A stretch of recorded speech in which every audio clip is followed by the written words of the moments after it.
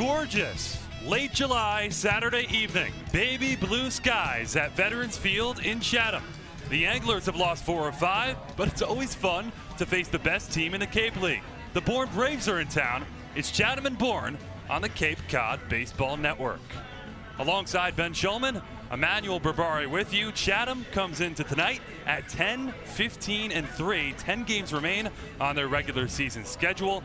Off a loss to first place Brewster, Bourne Ben, 23 and 3, but the Anglers somehow have had their number. One win probably should have been two wins for Chatham, who led three to two in the ninth inning the first time they played the Braves and ended up with a tie. They're the only team that Bourne has not beat this year. They got to bottle up whatever they've been doing those two games and try and drink all of it that they can before this final matchup. And Ben, an early start to coverage tonight. Normally a 6:40 Anglers Extra pregame show. Tonight it's 6:30. A special night in Chatham. It's First Responders Appreciation Night. There are a lot of different first responder branches here from all over the Cape on hand, as well as Coast Guard members. There'll be a flyover tonight. We talked to one of our media team members later in the show who has family member and the members in the military about that experience as well. A lot going on. That's on Catch of the Day coming up in just a couple of moments. Chatham and Bourne on the Cape Cod Baseball Network. First, the Manager Show with Chatham manager Tom Holliday. The Anglers have struck out a lot this season. A lot of late. Tom goes in depth on the problem throughout youth and baseball development with the all-important K. Then, it's Catch of the Day. Chatham and Bourne straight ahead on the Anglers Extra Pregame Show. Sports Radio,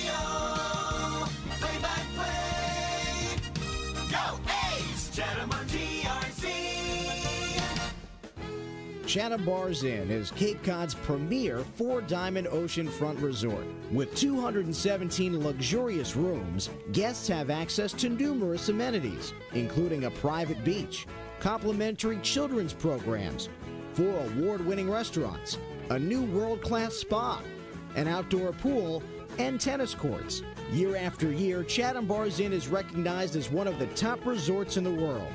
Chatham Bars Inn and Cape Cod Baseball. Summer fun for the whole family.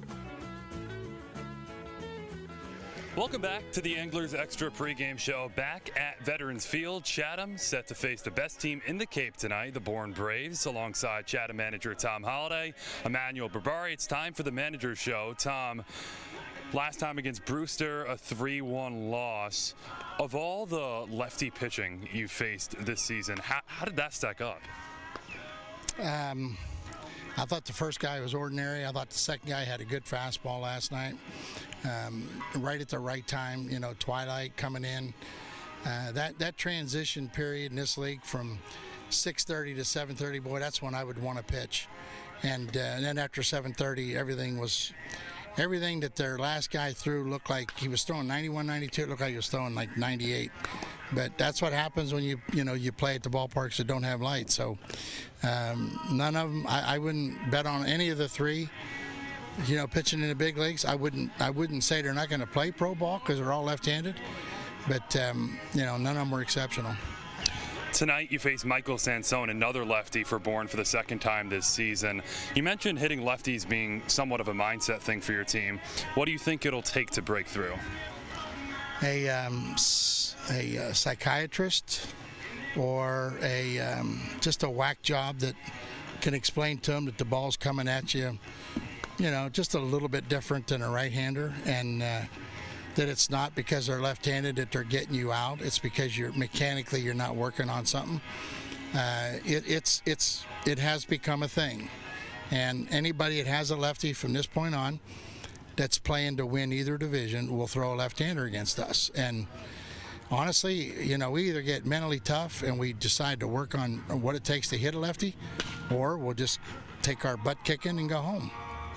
You talked about mechanical adjustments against a lefty. Yeah. What's different from the right side that you have to do against a lefty? Well, the, the, the biggest problem we have is we're, we got a bunch of one gated swingers. All they want to do is swing and hit it out of the yard. They're a bunch of high legged, big loop, and then anybody can throw a slider down and away or a slider at their back foot or a change up away. A change up's like a dead fish killer. And uh, nobody has understood what. Um, um, rhythm adjustment is. I mean, it's like a term that it doesn't exist anymore. Uh, guys are afraid to go to the front foot and hit the ball the other way. You know, if they can't pull it and hit it on the screws, then they they just as soon strike out and. That, that's a flaw right now in baseball. It, it, it's it's everywhere. Striking out should be embarrassing. Uh, it should hurt your feelings, and it should drive you to, to look for help. Instead, we just strike out like, man, that guy, eh, he's not that good, but I struck out. Well, you know, when a guy's not that good, and he strikes you out. That better hit your feelings, and we just we just haven't got guys got hit that deep yet. When do you think that changed in baseball? When somebody cuts you, or when somebody releases you, or somebody drops you out of the lineup, or somebody tells you you're not going to play, and then all of a sudden you realize that I'm not that good. There's there's something that everybody in amateur baseball can work on every day when they come to the yard. If all you, if all you want is feel good batting practice, to where you can go in there and just pepper the fence and BP and get into the game and go 0 for 4 or three strikeouts. Uh, there's something wrong with that. The game is not won in batting practice. The game's won between the lines when somebody's trying to get you out. When you start to think about what's this guy doing to get me out and what is it that's getting me out and you try to fix it, then then you got a chance to play this game. Not anybody not not anybody or everybody is just born to hit everything. I mean, baseball's not as it's not an easy game and good pitchers make it really tough. And and it, to be a good hitter, you got to really work, not just on hitting, you know, 500 foot batting practice home runs. Uh, that that Manny, that's the that's the biggest thing I've seen this summer. That's that's been a problem for us. We have too many guys that feel good after BP. Uh, you get onto the cage and you try to work on balls running away, and some of the drills you do with them they've never done before. So you can't get mad at the players. They just they're not they're not trying to sense. They're not trying to track. Uh, they get guys hitting out of one eye because their heads are flying off. Uh, lots of little tiny mistakes. Uh, hands are committing. Guys are checking balls in their hands, and then if they want to hit them, they can't hurt them anyway. You know, how many pop-ups have we hit the other way that have gone 180 feet, where a second baseman's catching it behind first? Or the third baseman catching it behind third. That's a pitcher win. He wins. If he can empty your hands like that, pitcher wins. And and the battle is like, man, I only got 60 days with a, or not even 60 days this year. You know, you got about maybe 55 days to learn how to use a wooden bat. And some guys have, and some guys haven't. Coach, thanks for your time. Good luck tonight. Yeah, that's a long answer to one question. Chatham manager Tom Holliday on the Manager's Show. Let's send it back up to Ben Shulman as the pregame show continues. Tom always giving great insight about the intricacies of the Cape League. But for the next interview, we're going to take a step away from baseball and get a little more macro with it. Catch of the day coming up on the Anglers Extra pregame show in honor of Coast Guard Appreciation Night.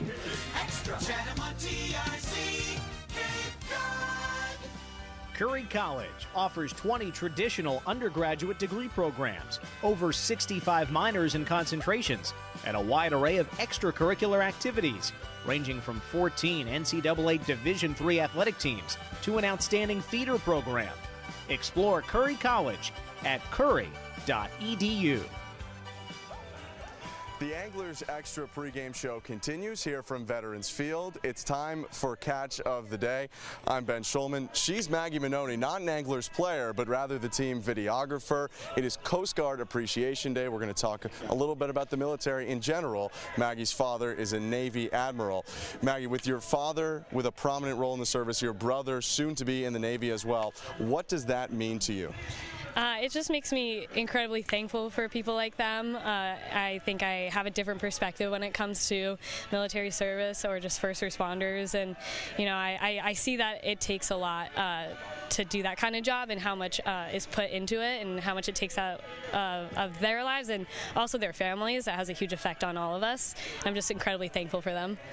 You have several first responders in your extended family as well. What is the relationship between police and military like in your family?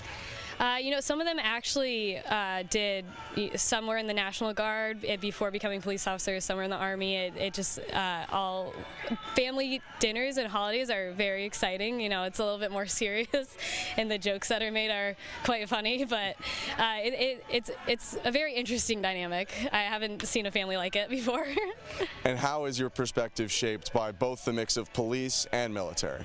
You know, it's just I, I have so much appreciation for everything they do, and it's had such a huge impact on my life growing up in this kind of family, and you know, having such close members to me be put in harm's way all the time. It just it, it makes me take every new like take each new day like with a different perspective and uh, appreciate everything. When did you first realize growing up the magnitude of what people in your family were doing? Uh, I think it I was in eighth grade. Uh, my dad got deployed for a year, uh, so I did not see him at all. Uh, and I knew he was uh, out on a ship somewhere. I didn't know where, and and it was a scary time. It was uh, there was a lot going on in the, in the world, and just knowing I, that was the first time when I fully understood where he was going. When I was younger, I kind of just thought he was going away on a business trip. And as I get older, and my brother gets closer to graduating, and I know he's going to be deployed, and I, with my age now, and knowing everything that goes on over there, it gets a lot scarier. But it also makes me realize it's amazing what they're doing. How challenging is it to have the family members going out, coming back, not being able to see them all the time? It, it's it's definitely hard. Uh, growing up, my dad wasn't around a lot. He tried to be around as much as he could, but. Uh, he always put his family first, and whether that meant he had to commute to DC every week, uh, while we could go to a school that we were familiar with with our friends, it it it had a huge impact on us. And what is it like now to see a night like tonight where both first responders and military members are getting honored, a group of people that have had a major impact on your family? It's it's amazing. Uh, these people deserve the world and all the thanks that we can give. Uh, it takes a special kind of person to do a job like this, and I know that I couldn't do it, and I have. It's just incredible what they can do. Well, we'll have that honoring coming tonight with the ceremony for first responders and the Coast Guard flyover. Maggie Minoni, thanks for joining me on Catch of the Day. Thank you for having me. Maggie will head back behind the camera as we get ready for tonight's broadcast. Emmanuel, back up to you. Ben Maggie Minoni, videographer for the media team, such great work and a fantastic perspective on what tonight means at Veterans Fields. First Responders Appreciation Night, Flyover Night. Chatham and Bourne taking a little bit of a backseat to what's about to transpire in the pregame. But first, we set the scene, go through the lineups, the pitching matchup. It's all ahead on the Anglers Extra pregame show. Extra. Chatham on TIC. Urgent care is now available at four Cape Cod healthcare locations in Hyannis, Falmouth, Sandwich, and Harwich. Open after hours and weekends, staffed by ER physicians. Expert care when you need it. Learn more at capecodhealth.org slash urgent care.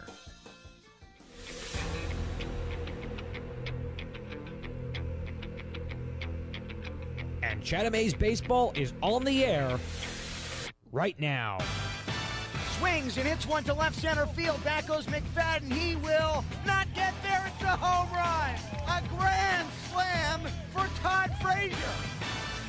Chugging into second base with an RBI double is Evan Longoria. He is four for four. Hit on the ground, left side. Will it get through? Off Crawford and into center field. Federovic scores and Chatham wins it in 11. The game-winning hit from Seager. It's a 5-4 Chatham winner. And now, with your play by play, Emmanuel Berbari and Ben Shulman.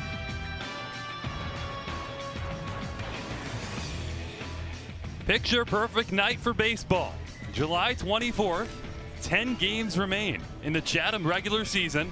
The Anglers, 10, 15, and 3. They welcome the best team on the Cape this season, the Bourne Braves. They're at 23 and 3. 20 of 26 games have been wins for Bourne.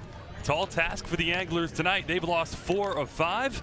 Alongside Ben Shulman, Emmanuel Berbari, moments away from First Responders Appreciation Night festivities at Veterans Field. Ben, First, though, let's check out the lineups for tonight's game. They're brought to you by the Chatham Squire. First, for the powerful Bourne Braves. The Bourne Braves, who continue to win and win, as you mentioned, E-Man. Part of the reason, good hitting, and it starts at the top with the Cape League's batting average leader, Christian Napchek from Arizona State, plays short and hits first. Behind him, from Nebraska, the designated hitter, Max Anderson, and the first baseman from Louisville, Dalton Rushing, hits third. Hitting in the cleanup spot, he burned Chatham in the first matchup between these two teams. Braylen Wimmer tied the game in the ninth inning. That time he hits cleanup, the right fielder from South Carolina. Hitting fifth from Arizona State, the center fielder Joe Lampe, and batting sixth from Virginia Tech, the second baseman Tanner Schobel. Hitting seventh, Nick Goodwin from Kansas State, the left fielder, and hitting eighth, the third baseman Zachary Agnos from East Carolina. John Garcia, the catcher from Monroe College, gets his first spot and hits ninth. That's the Bourne Braves. Starting lineup is brought to you, as always, by the Chatham Squire. Fans filing in behind home plate. About 90% full already in the bleachers in silver behind the home plate netting, stretching up to the first and third base side. Dugouts beyond right center field. A massive American flag on Depot Road in front of the firehouse. First Responders Appreciation Night. And those ceremonies just getting underway. And we'll turn it over to public address announcer Peter Burns as the American flag makes its way to the pitcher's mound at Veterans Field and the teams take the first and third base sides.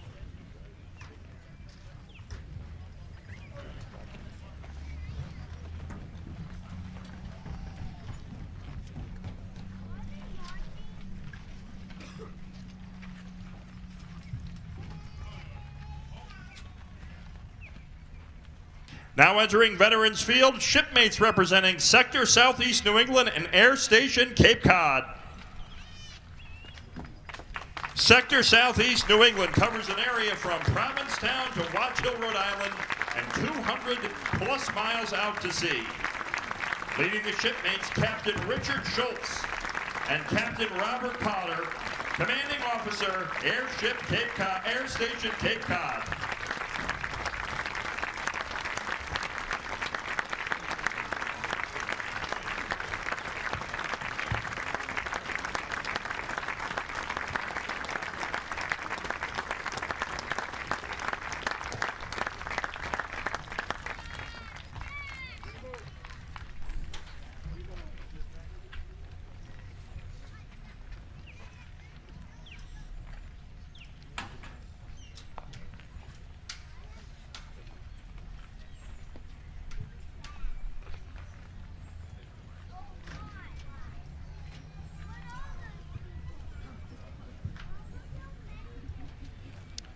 Few attendees in blue taking the fields just beyond that infield dirt in the shallow outfield. Officers just in front of the mound the holding the American flag. Police and firefighter first responders.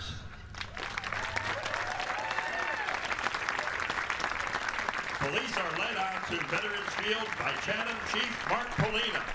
He's also a member of the Chatham Athletic Association, the Anglers Board, and joined by Massachusetts State Troopers.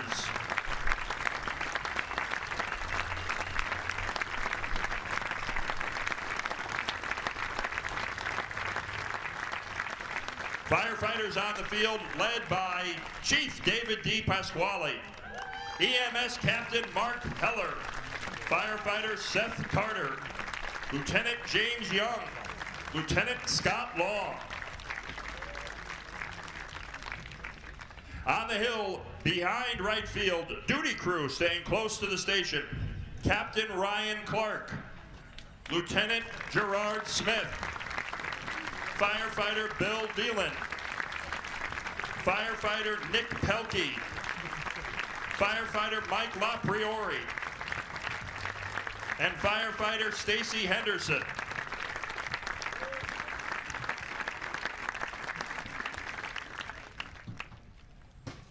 It's our pleasure to introduce to you for the blessing of the first responders, Ethan Everett. Lieutenant Commander, U.S. Navy Chaplain. Joined by his two sons, Chaplain Everts. Let us pray. Eternal Father, we gather this night in celebration and humbleness. We celebrate the resiliency and dedication of humanity that has overcome and continues to overcome the challenges we have faced this past year.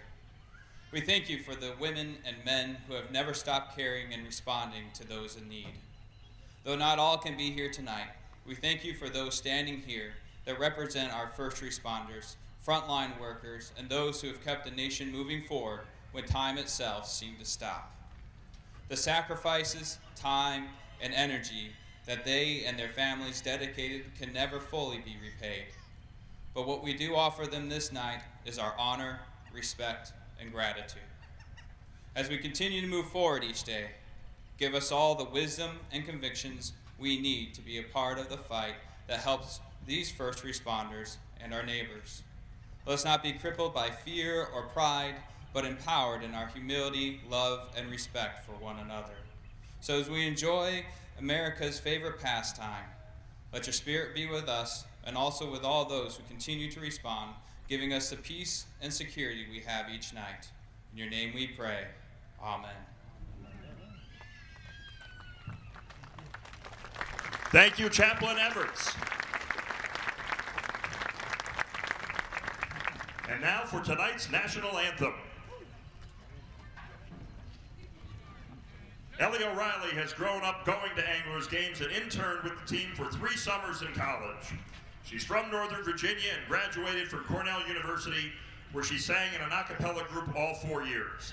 She will be attending King's College, London, in the fall for a master's degree in arts and cultural management after working at the Atwood Museum over the past winter and spring.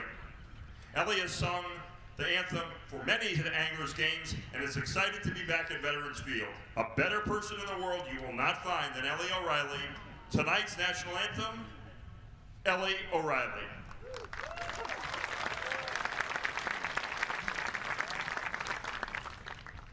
Oh, say, can you see by the dawn's early light what so proudly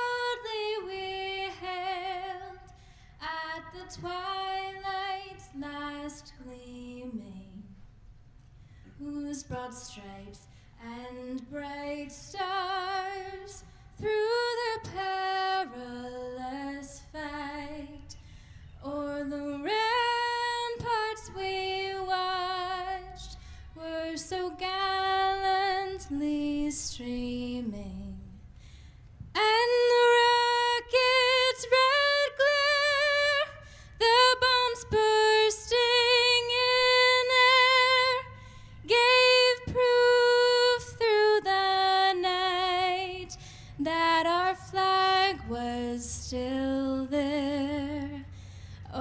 Say does that star spangled banner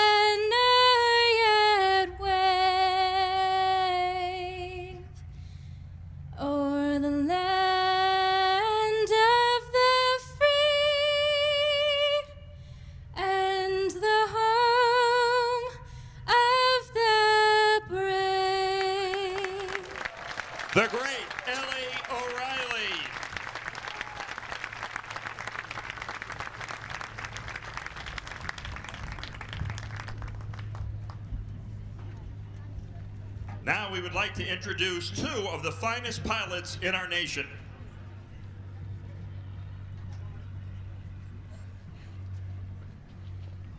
They are at the controls of the Sikorsky MH-60 Jayhawk helicopter, powered by GE 1600 HP turbofan jet engines. And now the spirit of Cape Cod from the sound of freedom.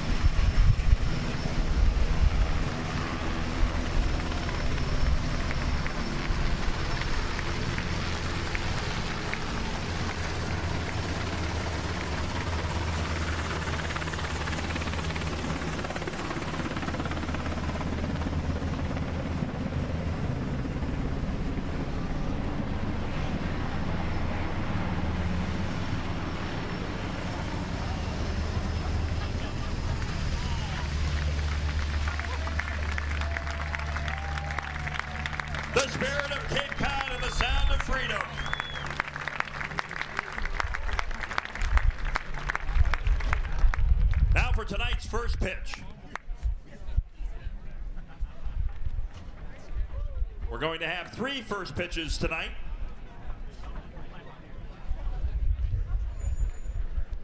From the Coast Guard, Captain Robert Potter.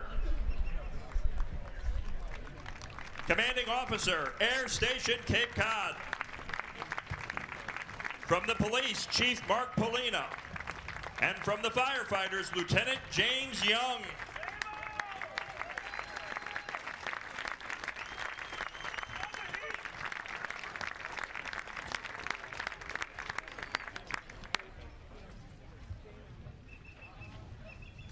Anglers players out there, Matt Hogan, Jake DeLeo, and Maxwell Rip- and Matt Garcia.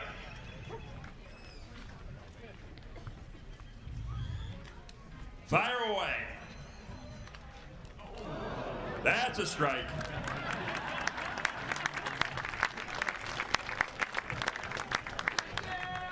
Chief Pawlina.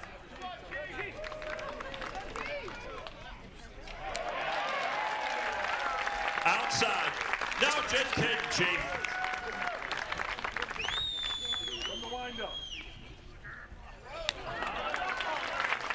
Lieutenant James Young for the firefighters, a perfect strike. Three strikes. How about a hand for these fellow Americans? Tremendous. First responders, please return to formation.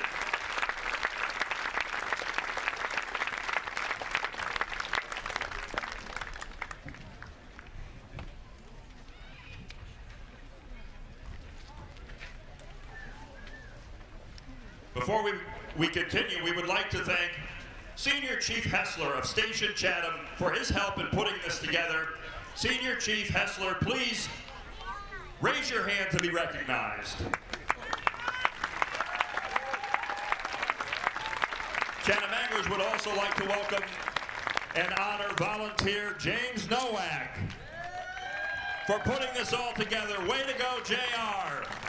Tremendous. We love it. It has been an honor to have the Coast Guard to be part of this ceremony. Shipmates, you may exit the field. First responders, thank you for all you do. You are dismissed. Just want to remind you that there's a tradition here in Chatham the first Sunday of December. Coast Guard CG 36 brings Santa to the fish pier to hand out candy to all the kids, Candy Kings. This year, Santa has added one new elf, Chatham Police Chief Mark Pawlina. And a special shout out to Lieutenant Commander Kevin Murphy from Air Station Cape Cod Operations Center for being today's air boss directing the Jayhawk flyover. Thank you to everyone for participating. Let's play ball. Thanks so much to Peter Burns, Veterans Field public address announcer. You heard Jim Nowak as well, organizing everything tonight. Some beautiful moments at Veterans Field on First Responders Appreciation Night with the anglers partaking right in the middle of the diamonds. Bunch of American flags, patriotic symbolic moments as well. And the massive American flag remains in right center field on Depot Road in front of the firehouse. Lights are on at Veterans Field early evening on this Saturday, July 24th. Those baby blue skies and the crowd filing in mainly behind home plate, but soon will migrate a little bit to right center field as well in the lawn chairs. Alongside Ben Shulman, Emmanuel Berbari with you, the 10, 15, and 3 Chatham Anglers, the 23 and 3 Bourne Braves. Ben, we briefly touched on the lineups before, but let's remind of what's going on tonight. These lineups brought to you by the Chatham Squire. In case you weren't with us just about 15 minutes ago, a refresher on the Braves lineup. Leading off the shortstop from Arizona State, Christian Knapczyk, hitting second Nebraska designated hitter, Max Anderson. In the three hole, the Louisville first baseman, the team's home run and RBI leader, Dalton Rushing, who put a ball onto the Veterans Field Hill in right center. Last time these two teams played. Hitting fourth from South Carolina, the right fielder, Braylen Wimmer. And hitting fifth from Arizona State once again, the center fielder, Joe Lampe. Tanner Schobel, Virginia Tech Hokie, plays second, hits sixth. Behind him, the left fielder, Nick Goodwin from Kansas State. Goodwin can play both the middle infield and the outfield tonight. He is in left. Hitting eighth, the East Carolina native, or rather, East Carolina player, Zachary Agnos plays third and hits eighth. And then in his first start of the season, the catcher from Monroe College, John Garcia. Ben, how about for the Chatham A's? Also brought to you by the Chatham Squire. Leading off the second baseman, Danny Serretti from North Carolina. He moves from nine yesterday to one today in the order. Behind him, Chatham's hottest hitter, Vanderbilt's Matt Hogan, the right fielder, leads the team in batting average. Hitting third for the first time this year, Josh Rivera, the shortstop from Florida. Behind him, second straight start in the cleanup spot, the designated hitter Garrett Martin from McLennan College. Hitting fifth, Chipola College first baseman Lyle Miller Green. And sixth, it's a back to back start for Jake DeLeo, the Georgia Tech outfielder. He's playing left today. Hitting seventh, the catcher from Vanderbilt, Max Romero, and hitting eighth, the third baseman from Old Dominion, Kenny Levari. Finally, the nine hitter in center field from Oklahoma State, Caden Trenkle. That's a Chatham lineup. It's brought to you by the Chatham Squire. The Anglers have taken the field in the home blues with the white script Chatham across the chest, the white numerals on the back, the white pants, and the blue caps. Tanner Witt, the tall right-hander from Texas. He makes his third start with Chatham. It's his final start with Chatham. He'll shut it down after tonight. Looks to figure into the Longhorn rotation this coming year. He's coming off his freshman season. Both Cape League starts for him so far against the East Division's Harwich Mariners. He's pitched to the tune of a 3.37 ERA in eight innings. A tall, built frame from the third base side of the rubber. He takes the ball in this top of the first inning. Following him, it's Bourne's Michael Sansone, the Fairfield Stag, and lefty in the bottom of the first. That pitching matchup brought to you by Red Nun Bar and Grill. Bourne's won 20 of its 26 games this year. They're in first place in the West by a lot. 11 games in the loss column with just over 10 games to play for the Braves. They're all but certain to be the favorite to win the Cape League title. Down the stretch of the regular season, the Braves come to Veterans Field. Christian Knapczyk leads off. He's deep in the lefty batter's box. With the righty, sets belt high, rocks and fires. A fastball up and away to start the ball game 1 0. Game time 7.04 in Chatham. It's 75 degrees and sunny. Time and temperature brought to you by the Chatham Athletic Association.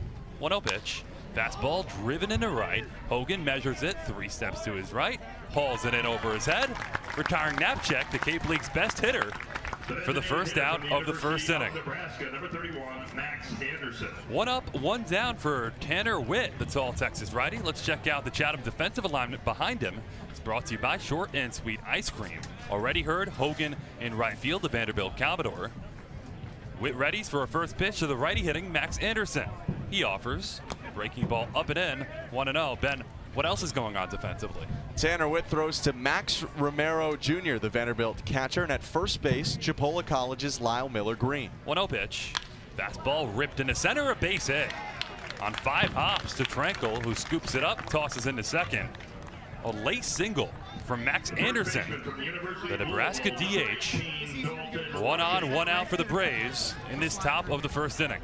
At second base, North Carolina's Danny Serretti, and at third, Old Dominion's Kenny Levari. Playing shortstop, as always, Florida's Josh Rivera. Left to right in the outfield, Jake DeLeo from Georgia Tech, Caden Trenkle from Oklahoma State, Matt Hogan from Vanderbilt. Righty versus lefty, Dalton Rushing steps in.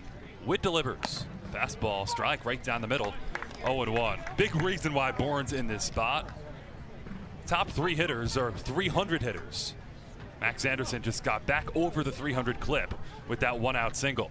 He takes a three step lead off first, held on by Miller Green. Witt's 0-1. Fastball up and away. A ball and a strike on Rushing, who's in at 310, a 916 OPS. Leads Bourne in homers and RBIs with four homers and 16 runs batted in.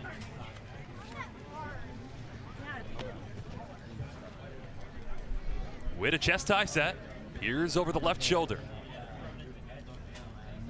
1 1 pitch. Fastball strike outside corner at 92. 1 and 2. Witt, a fourth generation Longhorn. His father, Kevin, a first round pick back in 1994, played with four different major league organizations Toronto, San Diego, Detroit, Tampa Bay. Witt looking to follow in the footsteps. He's off to a good start in doing so. 1 2. Breaking ball popped up. Shallow left, the shortstop Rivera backpedals four steps, calls everyone off, makes a play at his left cap side, holds Anderson at first, fires in a second, two down in the first, rushing, retired. His dad didn't spend a ton of time in the majors, but had a very long professional career, including playing in Japan, and went 13 years altogether between minors, majors, and overseas. Witt mainly a reliever at Texas this spring in his freshman season, but he was dominant in that role. Not a lot of people still believe in records, but he was 5 0. Righty hitting Braylen Wimmer. Looks at a first pitch. Breaking ball inside. 1 0. Just underway. Two outs. One on. Top of the first. No score. Chatham and Bourne. He was 5 0 with an ERA in the low threes and was extended out of that bullpen. And his stuff played up out of the pen, Ben. He got 95, 97 miles an hour at times. Witt's 1 0. Fastball grounded right side, a base hit in between first and second. Picked up by Hogan and right. Anderson up to second. Braylen Wimmer, the South Carolina Gamecock, goes inside out, and Bourne has runners on first and second with two away in the first. I think what you can take away from that record is as a reliever, he never came in and blew a game for Texas. Has he given up a lead? Once or twice, but he got lucky in those instances to get a no decision, and he wasn't doing it consistently enough to ever pick up a loss. Heavily relied upon at Texas. Two on, two out, righty versus lefty. Pitch. Fastball outside, 1 0. Joe Lampe, the hitter. Short, skinny center fielder from Arizona State, playing his 25th Cape League game. Has eight RBIs, 284 hitter. Has two runners out there, both of them not held on, healthy leads. 1 0. Breaking ball strike. Outside corner, 1 and 1. Witt goes fastball, cutter slash slider. It's a pitch he's worked on this summer. Curveball and change. Four pitch pitcher as he makes a transition to a starting role. Looks back at second. with 1 0. Fastball strike. 1 and 2. It's really important for his development as a starter to have four pitches because now he's got two breaking balls that move away from right-handed hitters.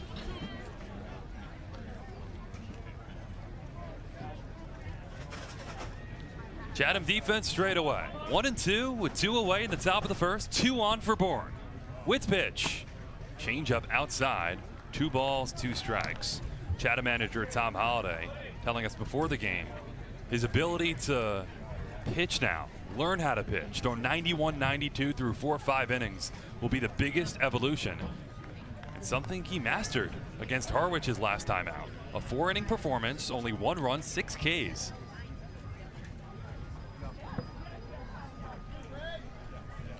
Witt's 2 2. Breaking ball, swing and a miss. Witt pulls the string at 82. Lampe fans. Strands two runners. Nothing across for Bourne in the top of the first.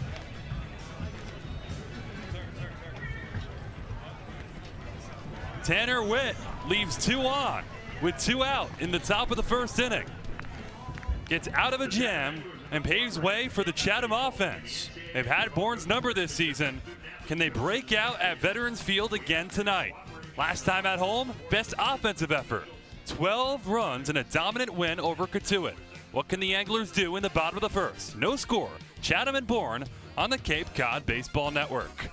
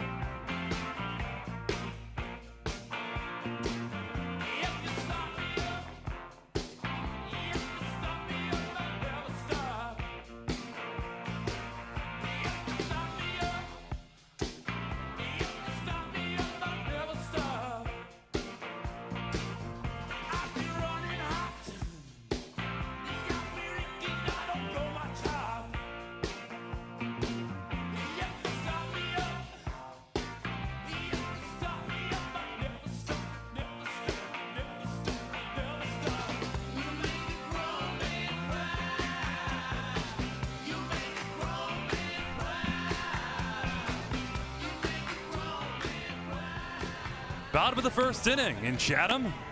The Anglers and the Braves scoreless. In this bottom of the first inning, Michael Sansone, the Fairfield lefty, takes the ball. He's a short, stocky lefty pitcher. 5'8, almost 200 pounds. And he's in the midst of a dominant summer for the Braves. Faces the top third of the Angler order, starting with the righty hitting Danny Serretti. Second baseman from UNC digs in, touches the edge of the plate, wags the bat out towards the lefty pitcher who goes out of the wind from the third base side of the rubber. First pitch. Fastball, strike right down the middle, 0 1. Scoreless game, Chatham and Bourne, bottom one. Serretti, the team leader in on base percentage at 380. Waits for an 0 1. Fastball foul back. 0 2 on Serretti. Sansone, this is his fifth appearance and second start this summer. He's 3 0 with an even one ERA. In 18 innings, only the two runs allowed, good for that one ERA. Two walks, 17 strikeouts. 0 2, fastball swing and a miss. Two seamer with tail at 87, up in the zone. Serretti down swinging for the first out of the bottom of the first inning. Ben, it's been a struggle for the Anglers against lefties. That puts it lightly. And Chatham manager Tom Holliday saying it's part mechanical, but it's mainly mental. And even recommended a psychiatrist in the manager show. I'm sure that was a little facetious, but the Anglers really haven't done anything against Southpaws this summer. Lefty on lefty, Matt Hogan steps in. First pitch. Fastball swing and a miss, 0 1. Even their best hitters cannot size up the left hander. Not that this is relevant information for anyone, but I think he wants them to get a psychologist unless he's trying to medicate his hitters into trying to be able to hit lefties.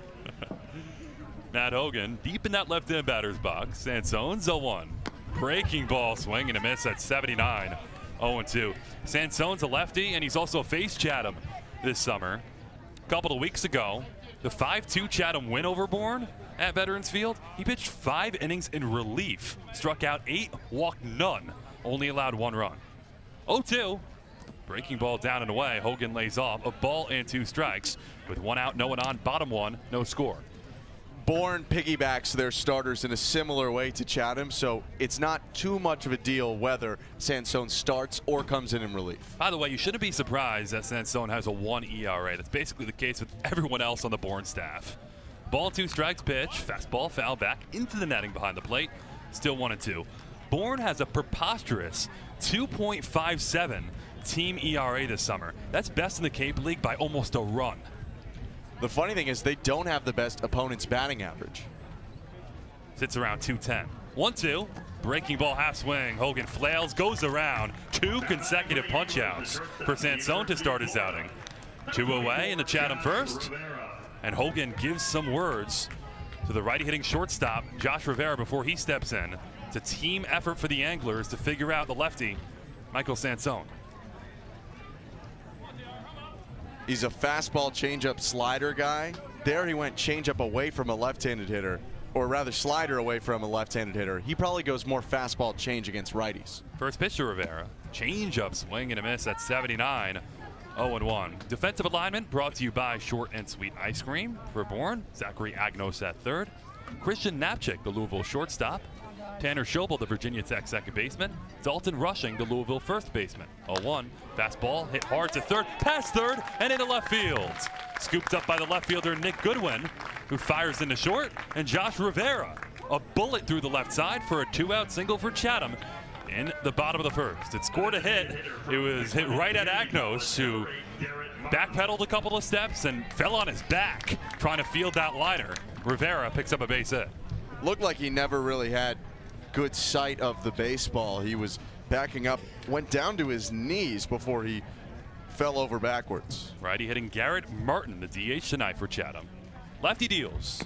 Fastball down low, 1 0. Um. You heard Nick Goodwin, the left fielder tonight, picking up that baseball on the hard hit single by Rivera. In center field is Joe Lampe from Arizona State. In right field, it's Braylen Wimmer from South Carolina. Sansone's 1 0. Fastball runs in and hits Martin on that right knee on the way by the back right leg. Martin jogs down to first. First and second, two down all of a sudden for the Anglers in the bottom of the first inning of a scoreless game. Chatham could barely get on the bases yesterday in a loss to Brewster. They didn't have a base runner till the fifth. The A's need to capitalize on opportunities. John Garcia is a catcher from Monroe College. That rounds out the Bourne defensive alignment, brought to you by Short and Sweet Ice Cream. Lyle Miller Green, the tall righty hitter, steps in. First pitch, a changeup in for a strike, inner edge, 0 1. So two on, two out for the Anglers in the bottom of the first inning. No score. Chatham and Bourne. Two straight strikeouts for Michael Sansone. And two straight base runners. A Josh Rivera single, a Garrett Martin hit by pitch. You can only wonder if Matt Hogan imparted something to Rivera that got the Anglers going after his at bat. A one. Fastball, nub to second. Schobel plays it two steps to his left, gobbles it up, throws to first, gets Miller Green back a couple of steps, and Chatham strands two on, two out. End of the first. No score. Chatham and Bourne. Michael Sansone through one. What can Tanner Witt follow up in the top of the second inning on the Cape Cod Baseball Network? Chatham on TRC, Cape Cod. Sweet Tomatoes Pizza, located right around the corner from Veterans Field at 790 Main Street in Chatham. Pick up a pie on your way to the game or grab a calzone before first pitch. The dough for their specialty pizza is rolled right before your eyes. Eat in or take out, 11 a.m. to 9 p.m., and sometimes later. Call 508 348 0200. See their full menu online at sweettomatoescapecod.com. Sweet Tomatoes, a Chatham pregame tradition. Well,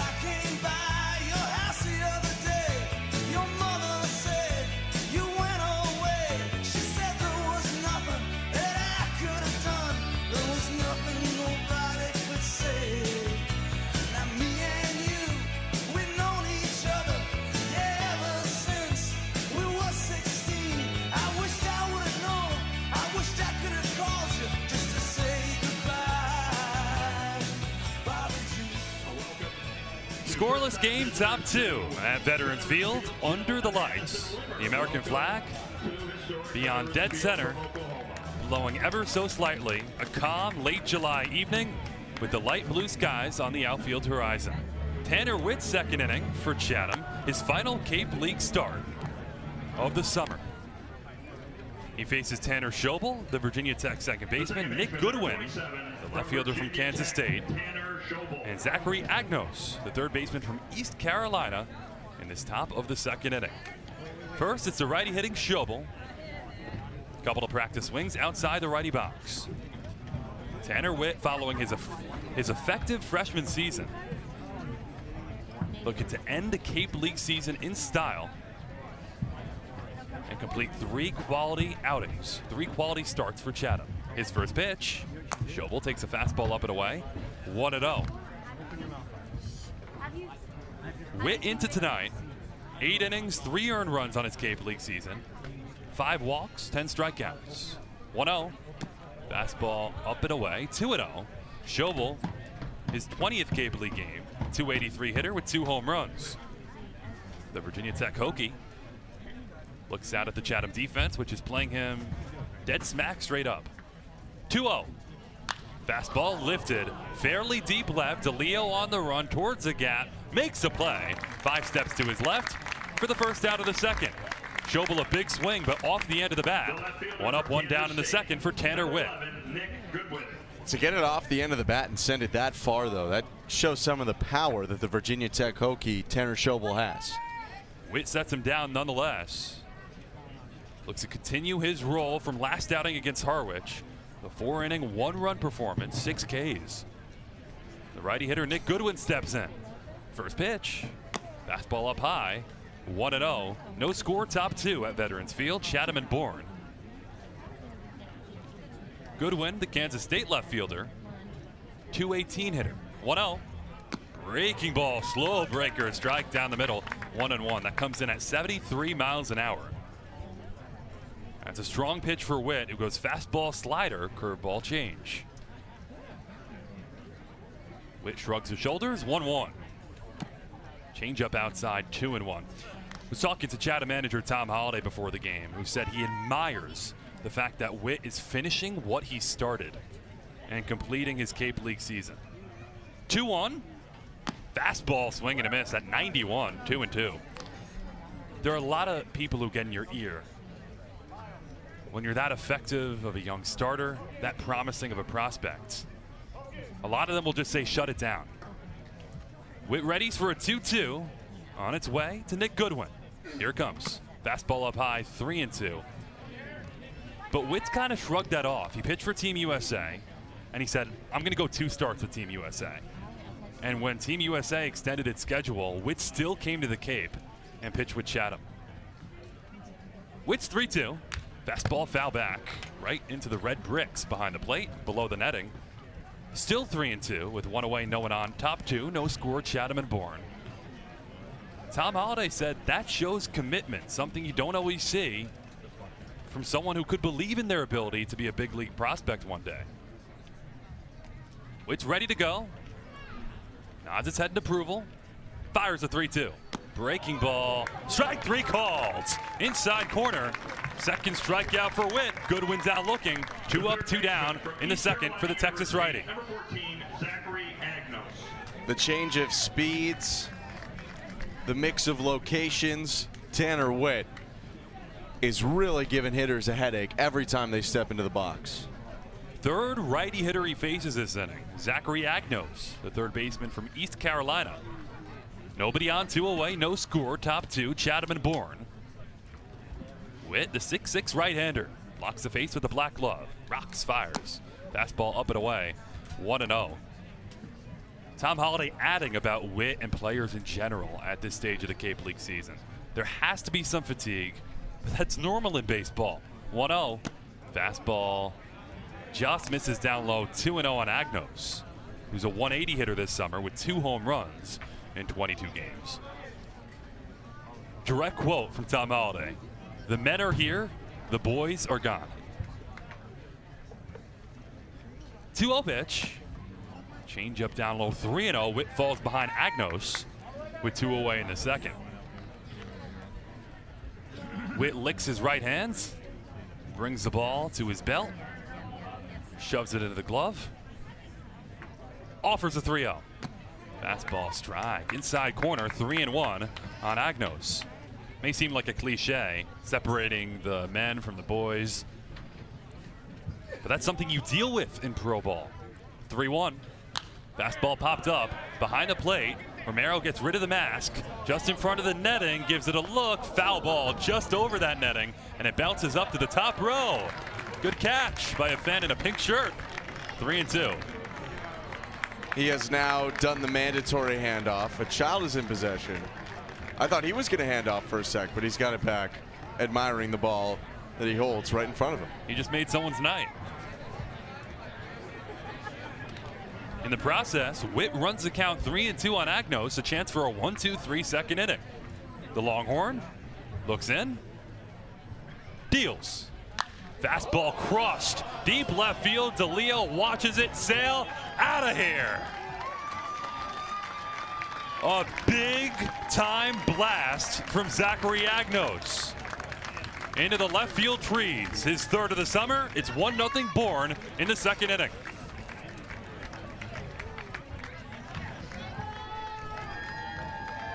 Well, that pitch was up above the belt, close to the letters. Agno saw high and kept it high. He came around hard on that fastball and sent it out of the park. Witt ran the count full. And then put one right down the heart of the plate, paid the price. His first pitch to John Garcia, a breaking ball strike, righty versus righty, 0 1. So Bourne strikes first. The Cape League's leading offensive team has the first run of tonight's ball game. Bourne one, Chatham nothing, two out, no one on, top two, 0 1. Breaking ball, wave oh and a miss, 0 2. Garcia, the catcher from Monroe College, it's his first Cape League start in his second Cape League game. Witt's 0 2. Fastball, strike three called, outside corner. Witt bounces back, his third strikeout. Two on the frame, but one in for Bourne on a long home run from Zachary Agnos. It's the Braves one. Chatham coming to bat in the bottom of the second inning. Under the lights at Veterans Fields on the Cape Cod Baseball Network.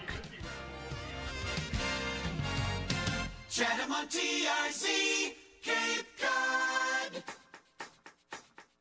For sales and rentals of Caterpillar machinery, generators, and marine engines, visit MiltonCat.com, your area cat dealer. Milton Cat, the Cape and Islands Caterpillar dealer, is proud to be a sponsor of the Cape Cod Baseball League. I got so down and out in Frisco, tired of the pills and the rain. I picked up headed for the sunshine.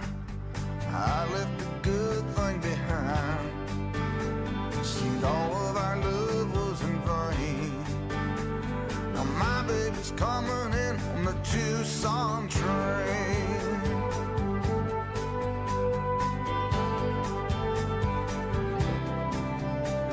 I come here looking for a new life, one I wouldn't have to explain. And that voice that keeps me awake at night, a little piece would make everything right. If I could just turn off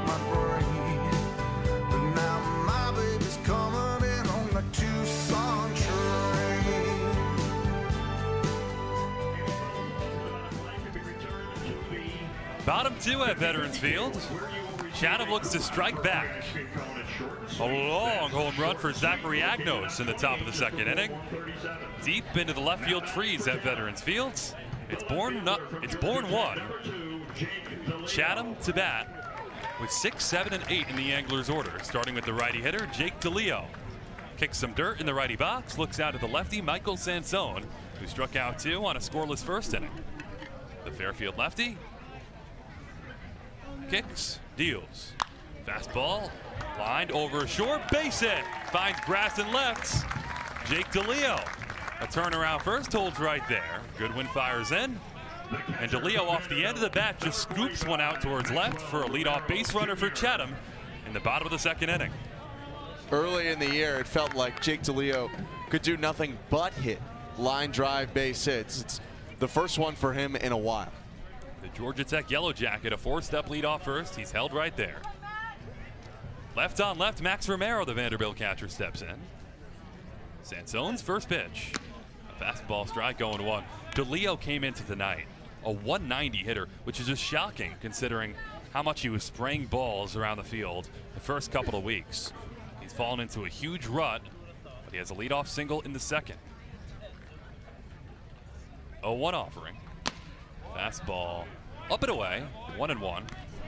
Some pop there It only comes in at 86 miles an hour, though, from Sansone, who's a crafty lefty, relies purely on location, variance of speeds, and a lot of cut. 1 1. Breaking ball foul back. Romero well out in front, fouls it over the netting behind the plate. 1 and 2. 1 0 Bourne, bottom two. DeLeo off first with nobody out. Sansone's really got a pitch. It's not like some of the guys we saw yesterday on both sides for Brewster and Chatham who are going to pump 95 past you. He's playing a mind game on the mound. A crouch stance from the first base side. 1 2. Fastball foul back. Romero right on that one. Still 1 and 2.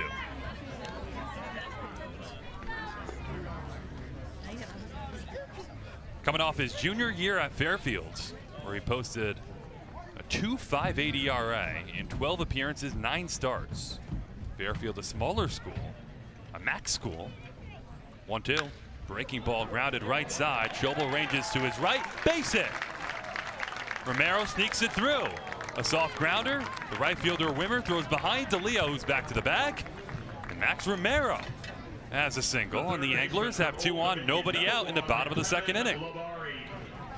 After a fairly lifeless offensive performance yesterday where Chatham picked up just three hits, it's big for the Anglers to now have three already, only in the second inning.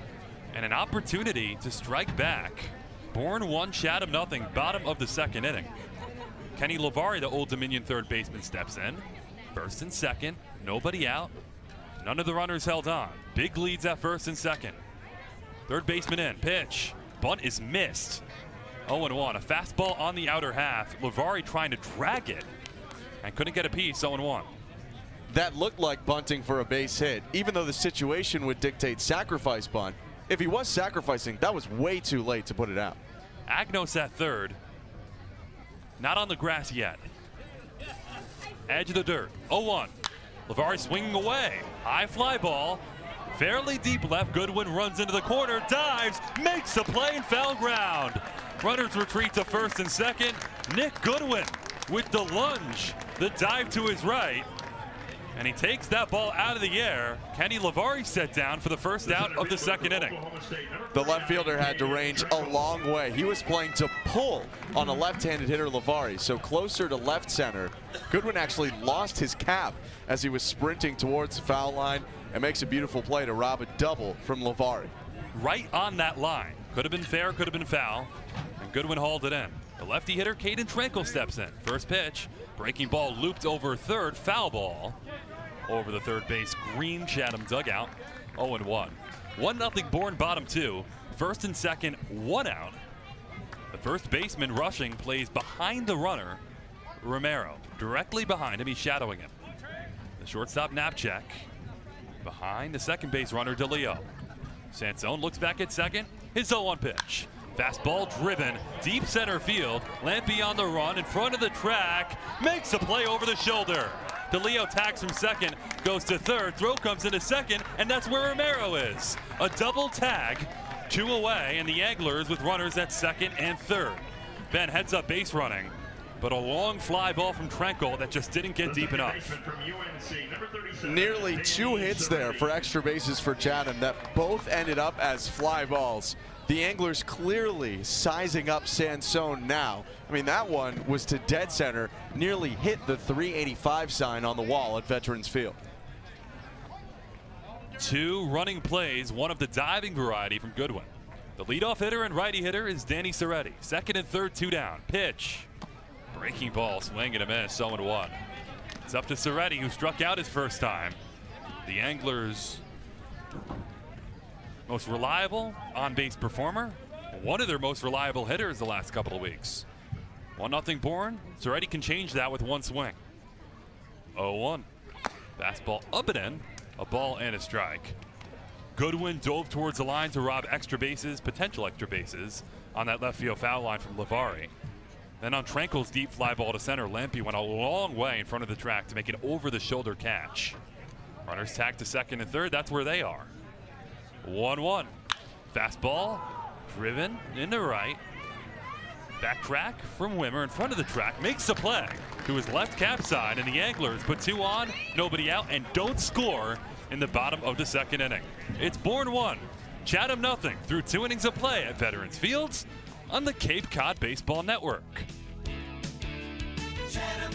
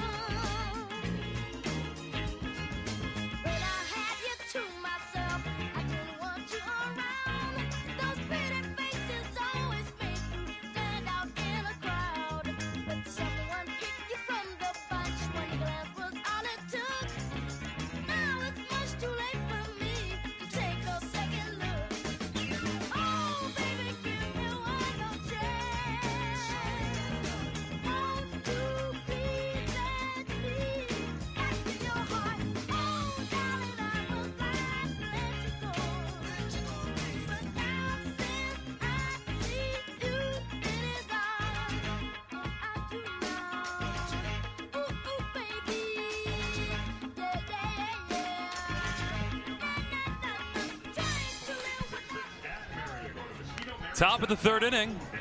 The best team on the Cape, the Bourne Braves, with a 1 0 lead over the Chatham Anglers.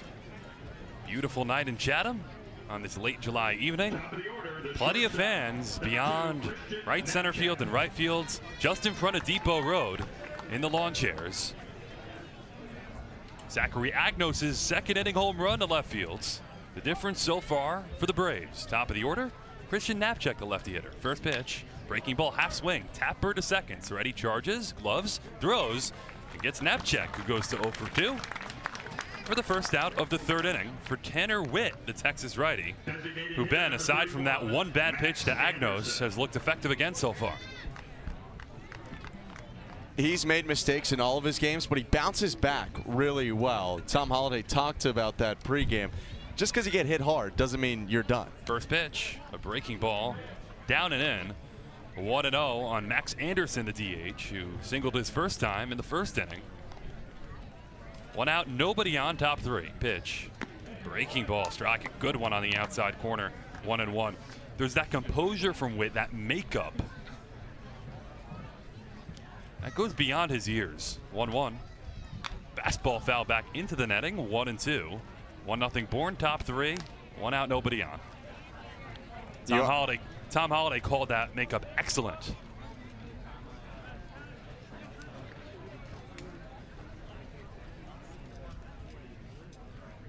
Witt's 1 2.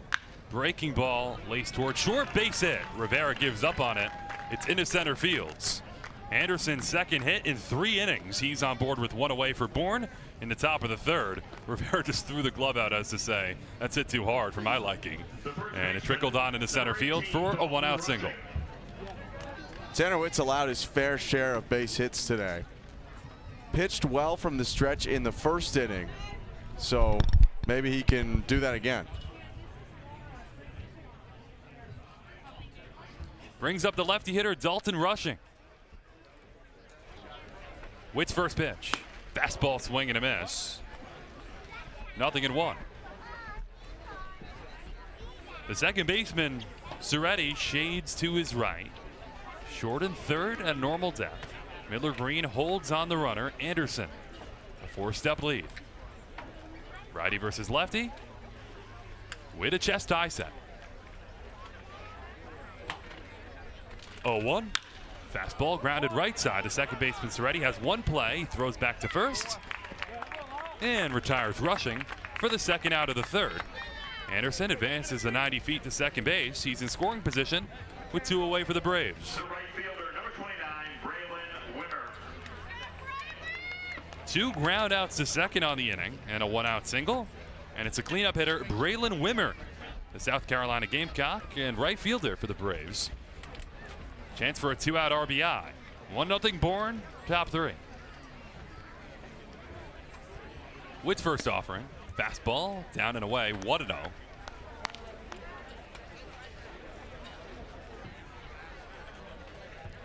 Talked about the excellent makeup earlier in the inning. When you look at Tanner Witt, you see someone who is going places. 6'6", 215 from a strong righty pitcher. Goes out of the stretch with a runner on second. 1-0. Fastball, tapped foul, wide of first. One ball, one strike. And expanding upon that excellent makeup, Holliday said, is a guy who can be a closer, but the four pitches right now, the one hope towards making him a starter. And you always want to start as a starter if you're a prospect, then move to the pen if necessary. Witt's 1 1. Breaking ball, grounded softly left side. Rivera in the hole, backhands, throws on the run, gets away from Miller Green. One hop past him. Anderson around third. He scores standing up. Wimmer advances to second on the errant throw. And no pick for Miller Green. It's 2 0 Bourne in the top of the third inning.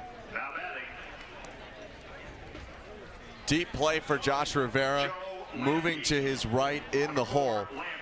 And if Miller Green at first can just block that ball, keep it in front of him, then it's only first and third, but instead it skips off the back of his glove, almost the top side of his hand, and behind him to the fence. Brings up the lefty hitter Joe Lampe. First pitch, he shows bunt, pushes one foul up the third base side.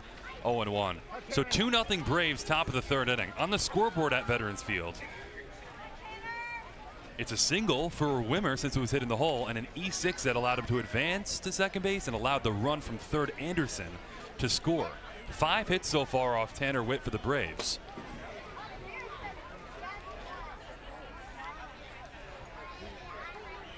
Oh, one pitch. Breaking ball, strike right down the middle. 0 2 with two down.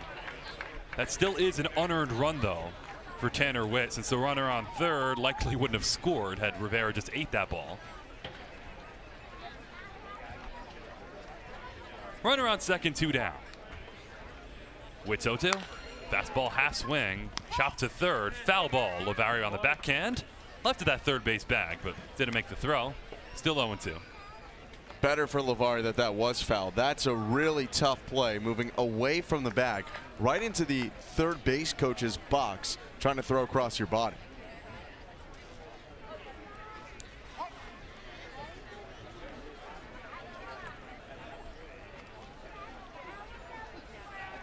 Witt's ready to go at the chest.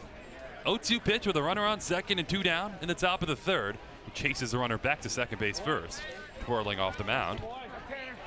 Throws his arms in the air to loosen his shoulders. A close set out of the stretch from the third base side. 0-2 on Lampe. Pitch. Change up outside, 1 and 2. Lampe a strikeout victim to end the first inning. One of three for Tanner Witt thus far. But he's in a hole now. 2 0 Bourne. Top of the third inning. When the Anglers have fallen behind this season, it's been much harder for them to rally back.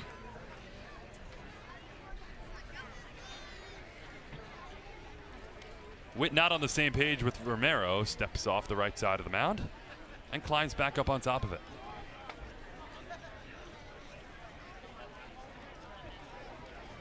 One two comes home. Change up outside, two and two. Home plate umpire Rich Catani crouched down behind the plate. Over at first, it's Jeff Burzel. Across the diamond at third, Lou DeLuise. This umpire is brought to you by Audio Associates. Two and two with two away, runner on second.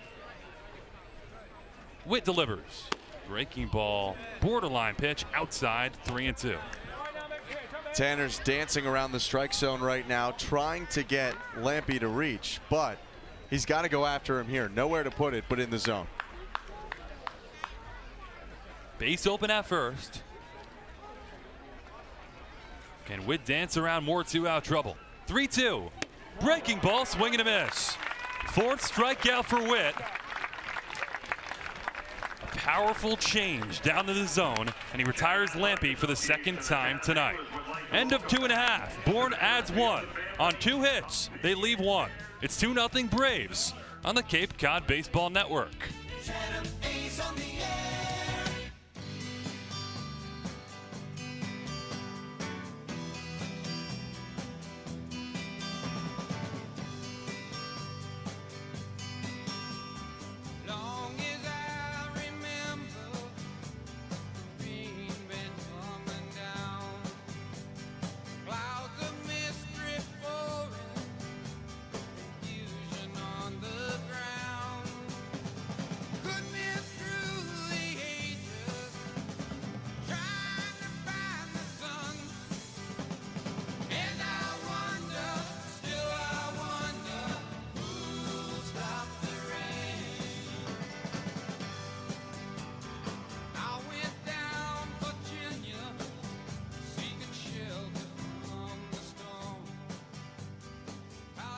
This is Tom Holliday from your Chatham Anglers in beautiful Cape Cod, Massachusetts. You're listening to Chatham A's Baseball with Emmanuel Berbari and Ben Shulman on the Cape Cod Baseball Network. Chat. Chatham manager Tom Holliday's team. 2 0 deficit to Bourne in the bottom of the third inning. A run in the second, a run in the third for the Braves. And Michael Sansone continues to set down the anglers just like he did a couple of weeks ago. The short lefty pitcher from Fairfields delivers to the number two hitter and lefty hitter Matt Hogan. First offering. Fastball popped up foul behind the plate, 0 1. The Anglers with three hits through two, but no runs against Sansone, who a couple of weeks ago, five innings of brilliant relief right here at Veterans Fields. Eight strikeouts, no walks. Sansone's 0 1. Fastball up and in, over the head of Hogan, who ducks out of the way, a ball and a strike.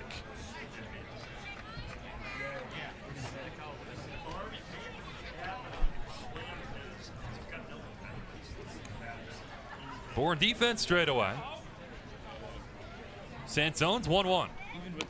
Breaking ball inside, 2 and 1 on Hogan, who struck out his first time. Has been cruising for the Anglers so far this summer. Puts the right arm in the air. Now onto the bat. Once he puts above his right shoulder, pitch, fastball upstairs, 2 and 1. Hogan will be followed by the Florida shortstop, Josh Rivera, and the Oklahoma State DH, Garrett Barton.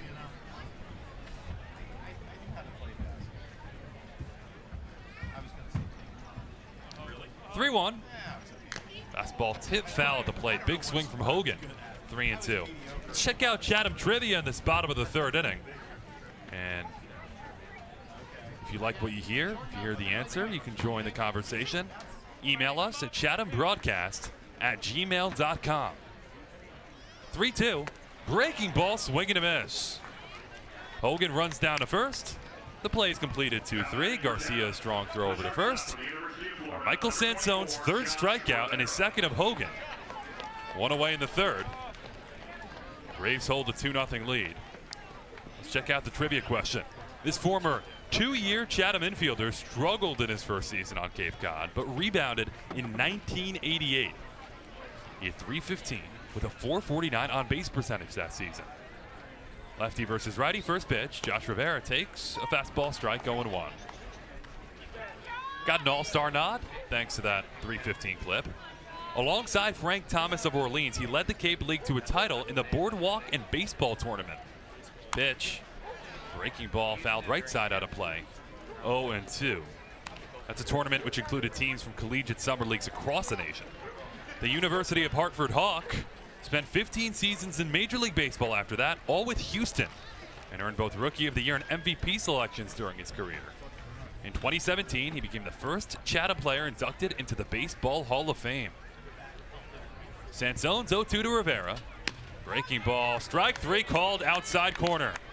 The Anglers continue to be baffled by Sansone. His fourth strikeout and two straight to start the third. Two down. Keeps getting guys with the breaking pitch. That's the third strikeout that he's used the slider on to get someone out. And Rivera just kept the bat on the right shoulder. Walked slowly back to the third base dugout. Two out, no one on. Bottom three. 2 nothing Braves. Lefty versus righty. Garrett Martin steps in. First pitch. Change up, up and away. 1 0. So if you heard the hints, think you have the answer to that trivia question, you can email us chathambroadcast at gmail.com. Read the answer in the seventh inning. 1 0 pitch. Change up, swing, and a miss. 1 and 1. Ben, this guy was a pretty dominant player. He was. And I thought that the first Cooperstown Chatham player was Ross Ohlendorf, but I'm I was proven wrong today. One one pitch, change up, swing and a miss, one and two. It's weird how the Hall of Fame stuff works, right? You'd think Babe Ruth would be the first baseball Hall of Famer. I don't think I would. Baseball started in like the 1880s. Well, he was the first worthy. recipient. One two, breaking ball outside, two balls, two strikes with two away. They they backdoor some of these guys in too when the Hall of Fame started becoming more of a thing. This guy was later inducted than I thought. I will agree with you. Jeff Right. Bag. nah, No, nah. Ooh, d- don't give the answer, man. Watch out. No one. Ross Ohlendorf. That's the answer. Ben will not stutter and give you the full answer in the seventh inning. Two and two and two down, nobody on. Bottom three. Pitch. Fastball foul back. Still two and two. And also, we're talking Cape League versus Major League Hall of Fame's two different process types.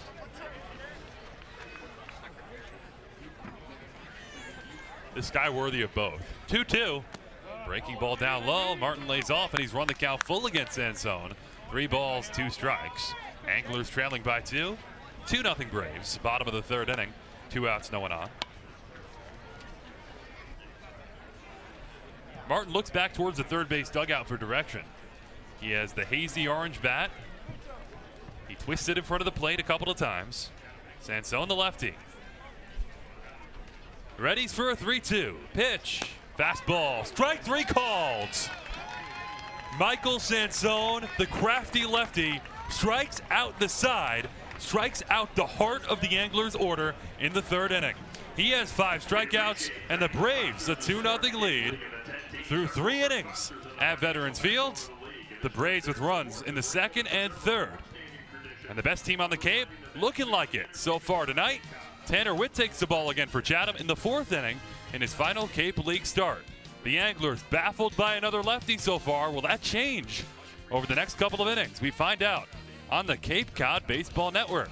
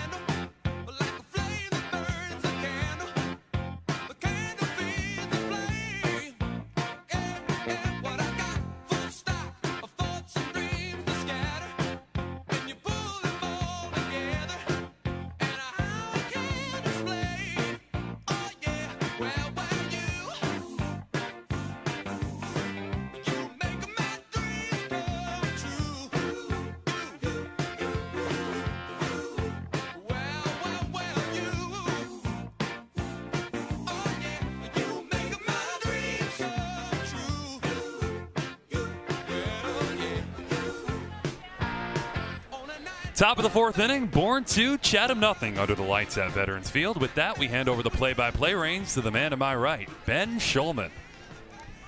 E-Man, the Braves look to get their first victory against Chatham this season. They start out the top of the fourth with Tanner Schobel at the plate.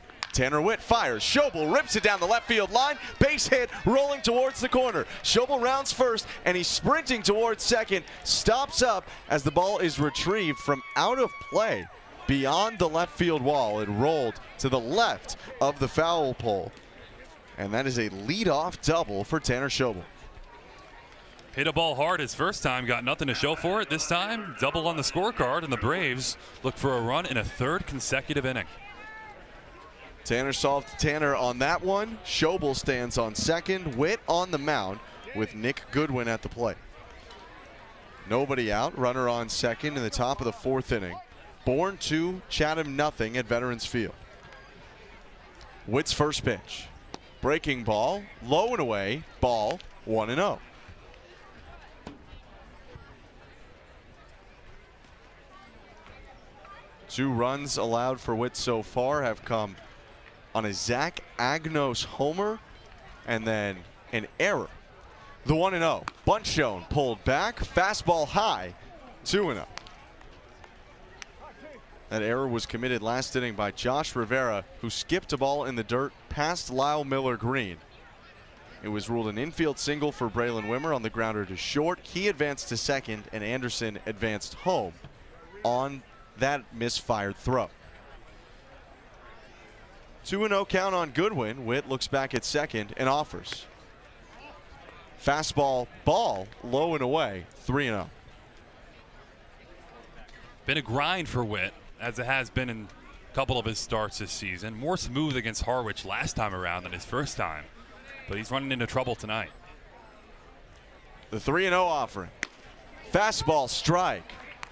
Right down the pipe, 3 and 1. And it's mainly because when you miss against this Bourne team, they hit it. That doesn't happen with every team. Bourne with a league high 263 batting average. The 3 and 1 offering, spin around pickoff. He got me. No one was covering the bag, though. You might have just heard Tom Holliday get a little bit frustrated with that fact as well. The man supposed to be covering is Danny Serretti, the second baseman, with a right handed hitter up. The 3 and 1 pitch. Swing and a miss on a fastball, 3 and 2. Witt has come back from down 3 and 0 and has a full count on Nick Goodwin. He struck out Goodwin in the second inning on a 3 and 2 curve.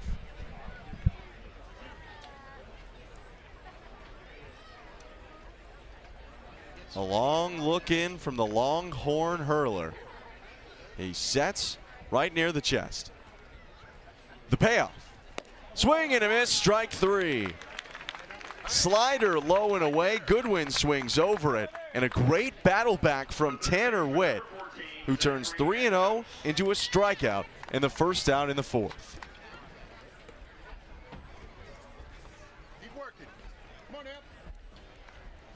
You can hear Dennis Cook encouraging his pitcher on, the pitching coach sitting just to the right of the Chatham dugout. Witt still got trouble to deal with. There's a runner on second base. And Zach Agnos is at the plate. Witt fires. Agnos swings and fouls it off to the right side, 0 1. The East Carolina third baseman looks down to third for the signs right now. Last time up in the second, he took a 3 and 2 pitch deep to left field to open the scoring. 0 1 to the third baseman. Fastball up and away, 1 and 1.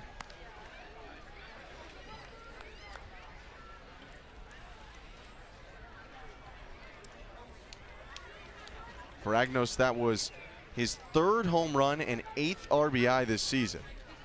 He's tied for second on the Braves in homers. The 1 and 1. Off speed, called strike. A huge breaking ball that dropped into the zone and froze the batter as it just caught the bottom part of the plate. One ball and two strikes.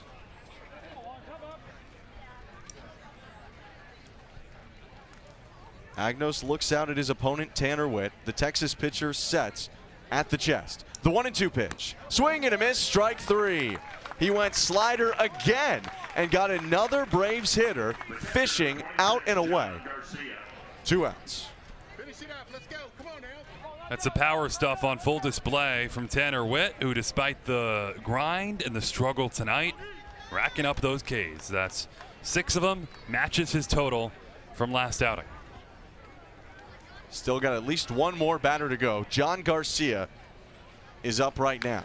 Garcia swings at the first pitch, fouls it to the dugout, 0 1. The third base side dugout. Where Nolan McLean goes and picks it up. He's not active on the Chatham roster right now. He was on the temp roster before the year. And he's in the dugout right now. That's about all I can tell you. The 0 1 to John Garcia. Big cut and a miss. Swings through a fastball. It's no balls and two strikes. Tanner Witt tries to work out of trouble and keep this game at just 2 0. Tanner Schobel hit a leadoff double off of Witt and stands on second right now. Back to back strikeouts have it at two outs in the top of the fourth. The Longhorn sets, looks back, and delivers. Fastball high, one and two.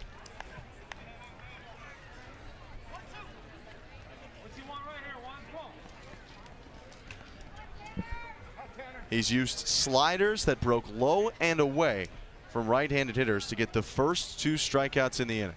What does he go with on one two? Another slider. It was higher and it was fouled off. back into one of the posts that holds up the netting here at Veterans Field. It's still one and two on John Garcia.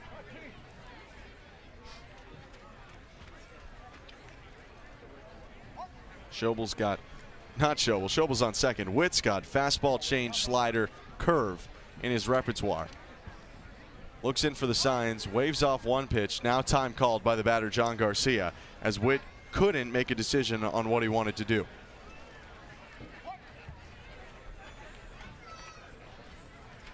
The right-hander sets. One and two pitch. Foul tipped off the left leg of the catcher Max Romero. Still one and two. He went with a curve at 80 miles per hour and could not get that one past John Garcia. Still two outs, still one ball and two strikes, still two nothing for Bourne, who scored a run in each of the last two innings. The Braves have a runner in scoring position in Schobel. They would need John Garcia's first Cape League hit to plate him. One and two to the catcher. Swing and a miss, strike three. Schobel goes with the fastball low and retires the side in the top of the fourth inning. No runs, one hit, no errors, one left on. Schobel is stranded at second, and the A's send up Lyle Miller Green in the bottom of the fourth next. Chatham on TRZ, Cape Cod.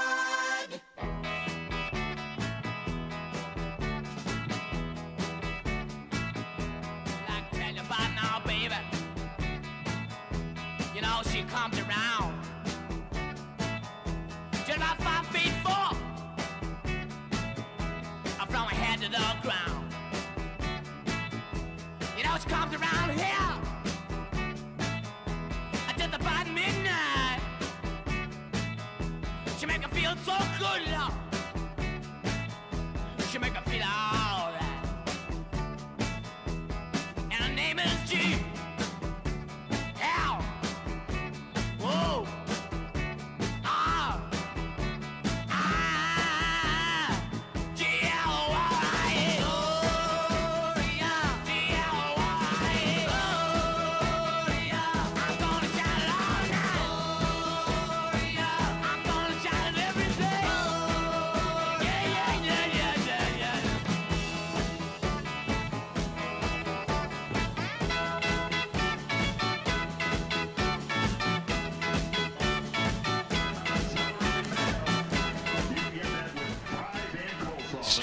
Strikeouts galore at Veterans Field right now in this game between Bourne and Chatham.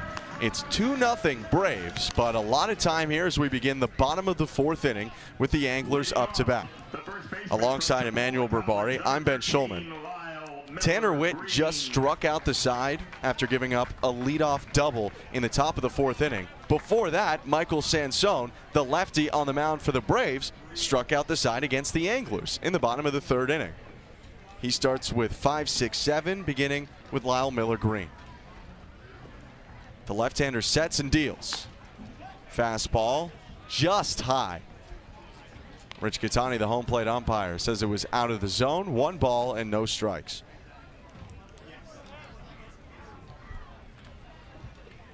The Fairfield left-hander ready for the 1-0. Off speed, cut and a miss from Miller Green, who was out in front. It's one and one.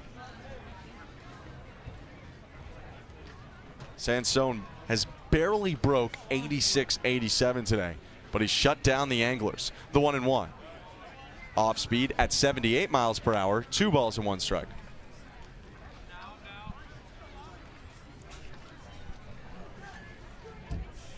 Falling behind Miller Green early though. The two and one offering. Swing and a miss. Fastball at 86. Low and away. Miller Green waves through it. It's two balls and two strikes. One of the big reasons Sansone has no runs on his record. He came up against Lyle Miller Green in the first inning in a big spot and retired him. The 2 2. Fastball just low.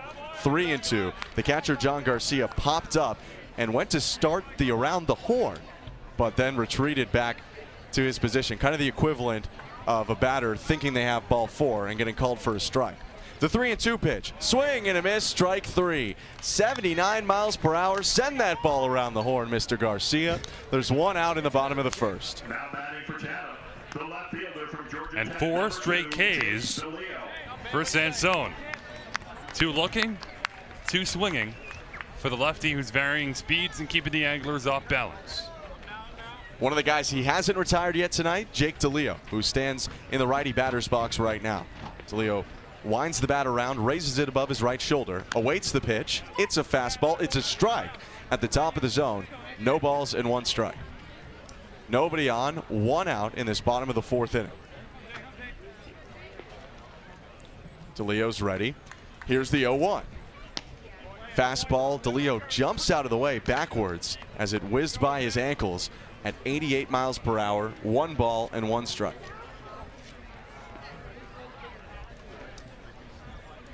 The one and one offer. Breaking ball in the dirt. Two balls and one strike. In the second inning, Jake lined a ball to left field for a base hit. His first outfield hit in quite a long time. Jake kicks some dirt around. Sansone, the pitcher, stepped off the mound, so DeLeo's got some time. Now Sansone is ready and offers. Fastball just low. The catcher Garcia was hanging on to the pitch right below the knees of Jake DeLeo, trying to convince Rich Catani, non-verbally of course, to call that a strike, but instead it's three balls and one strike. The pitch. Fastball, outer half strike. Three and two. It was a three and two pitch to Miller Green when he struck out swinging. Now it's the same count on Jake DeLeo. The full count offering. Hit hard, right field, on the run. Wimmer towards the corner, reaches out, makes the catch in front of the track. Braylen Wimmer on a mad dash to the right field foul pole, reached with his left hand behind him and hauled it in. Jake DeLeo's one for two, but boy, he deserves two hits after smacking a ball like that to the opposite field. Looked like early season Jake DeLeo sprang a ball, no result, and that's what started his slump when he didn't get results on those line drives. He's hit the ball hard the last few games and gotten a little unlucky. First pitch to Max Romero. Hard swing, foul ball back into the netting. 0-1. There are two outs and nobody on. That broke a streak of four strikeouts in a row for Michael Sansone with the Jake DeLeo fly ball. Sansone looks in, sets just beside his face at the chin, and the 0 1 comes. Wave and a miss from Romero, off speed at 74 miles per hour. No balls and two strikes. For as good as Romero's been, he's always a little more uncomfortable against lefties, which is natural, and it's a reason why he's in the number seven spot tonight. Left-handed hitter from Vanderbilt. Sansone steps off the mound. Stick with us in the next inning. We're going to take a look at Major League Baseball scores. Highlight some Chatham alumni. The 0 2 hit high left field, but it sits right for Nick Goodwin, who doesn't have to move from his position, makes the catch, and ends the inning. Nothing across for the A's in the bottom of the fourth. They haven't put a blemish on Sansone's record yet, and maybe a new pitcher when we come back on the Cape Cod Baseball Network. Chatham on TRC, Cape Cod.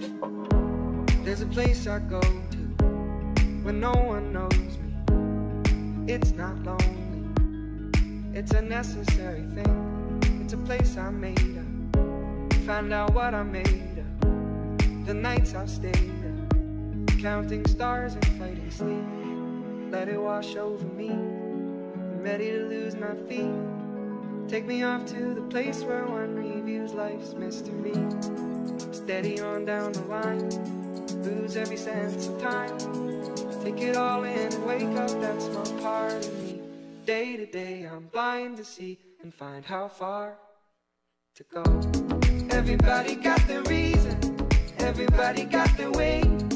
We're just catching and releasing what builds up throughout the day. It gets into your body flows right through your blood.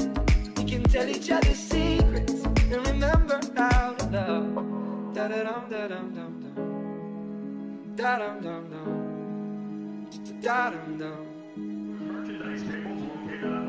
Da-da-dum, da-dum, dum. Top of the fifth inning at Veterans Field. It's the Cape League's leader in record, the Bourne Braves. With two runs, Chatham, the home team, has none. And the Anglers switch pitchers here as we begin the top of the fifth. It's a Chatham Bars Inn call to the bullpen for the tall, slender right-hander from the University of Miami, Alex McFarland. Four innings in the books for Tanner Witt, who surrenders six hits, two runs, only one of them earned, and ends with another solid performance. It's funny how that works, right? It felt like it was 3 0, 4 0 Bourne. Witt, who's beyond his years in terms of courage and guts, gutted it out. And only one of those runs being earned. Witt will look up at his ERA for the summer. This is his final Cape League start, and only allowed four earned runs in, four, in 12 innings. He gives way for McFarland, who takes on one, two, three, starting with Christian Knapczyk. First pitch, fastball, low, 1 0.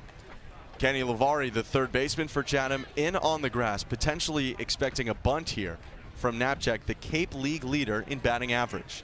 The 1 0 offer.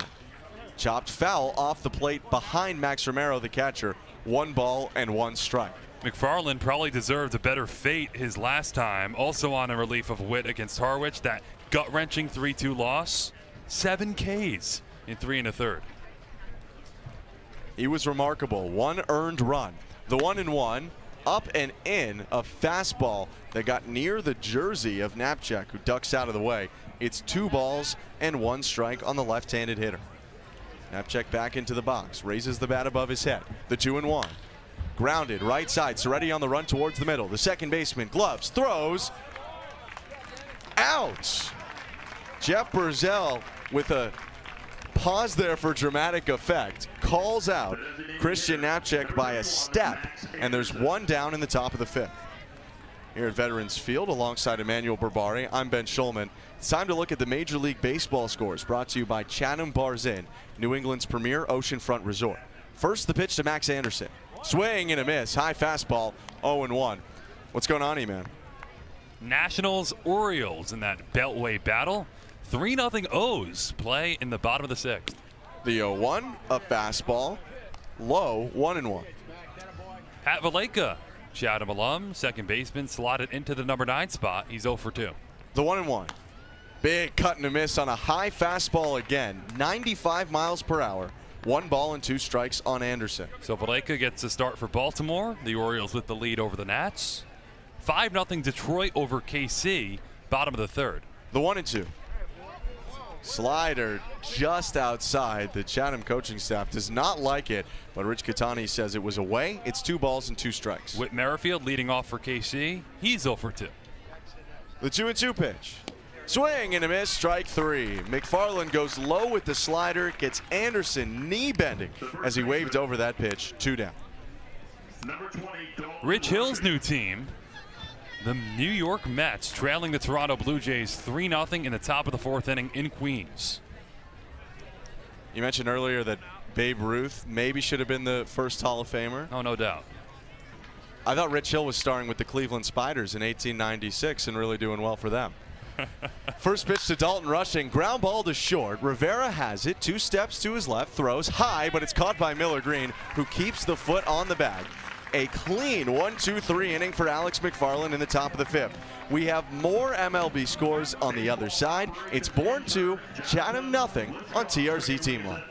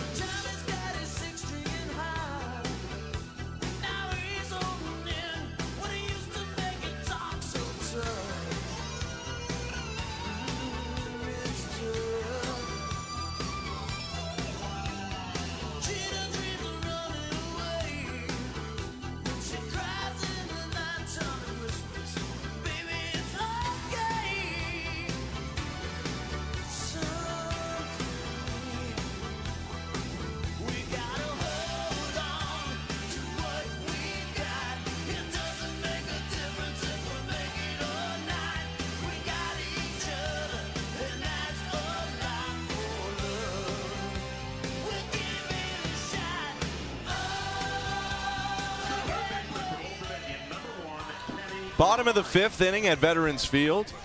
Bourne to Chatham nothing. Still on the mound for the Braves, Michael Sansone, who's been absolutely dominant so far.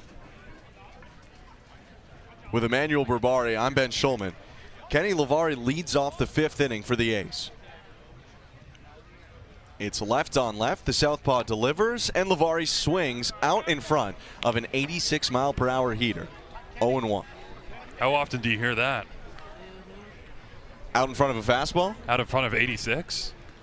I mean, it's just coming in at such a different speed than these guys are used to. Because everyone these days throwing 95. The 0 1, that one came in at 86 and hit Levari on the shoulder. The Old Dominion third baseman gets a free pass down to first base the painful way. One on, nobody out. 86, 92, still hurts. One of the few base runners allowed so far for Michael Sansone here in the bottom of the fifth inning. Caden Trenkle at the bottom of the order is up with a runner on first base and nobody out. Trenkle with a half-hearted practice swing steps in, taps the plate twice, and he's ready to go. First pitch to the center fielder. Off speed, strike, no balls, and one strike.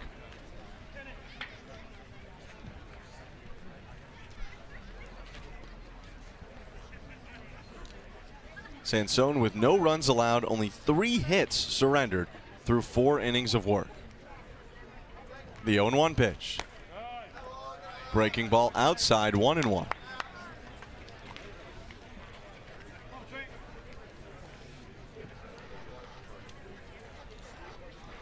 Sansone's just been so dominant this year. Gave up one run in five innings against the A's earlier, has a sub 2 ERA. The 1 and 1 pitch.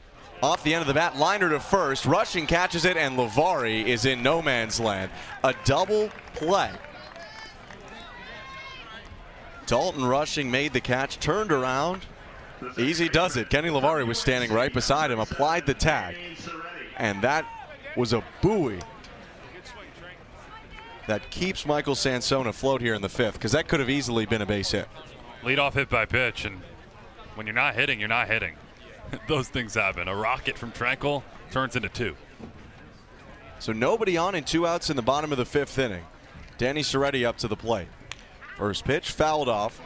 0 and 1. If Sansone keeps pitching like this now through four and two thirds with no runs allowed. He could end up exciting pro teams in the future. Eman, what are those pro teams doing right now? Well, mentioned a few games in progress with Chatham alum action. A few games are final as well. The 0 1. Big cut and a miss. Serretti loses his elbow guard as he waves over an off speed pitch 0 2. The Cubs lost to the Diamondbacks 7 3 at home earlier today. Kris Bryant, though, went two for three. Chatham alum, he walked once and facilitated the Cubs' offensive approach. Kris continues to have, I don't want to say a breakout year because he's been so good, but he slumped a little bit last year. Now he's kind of back. Right, he's been there, done that, but he's doing it again this year. Sansone trying to do it again. The 0 2.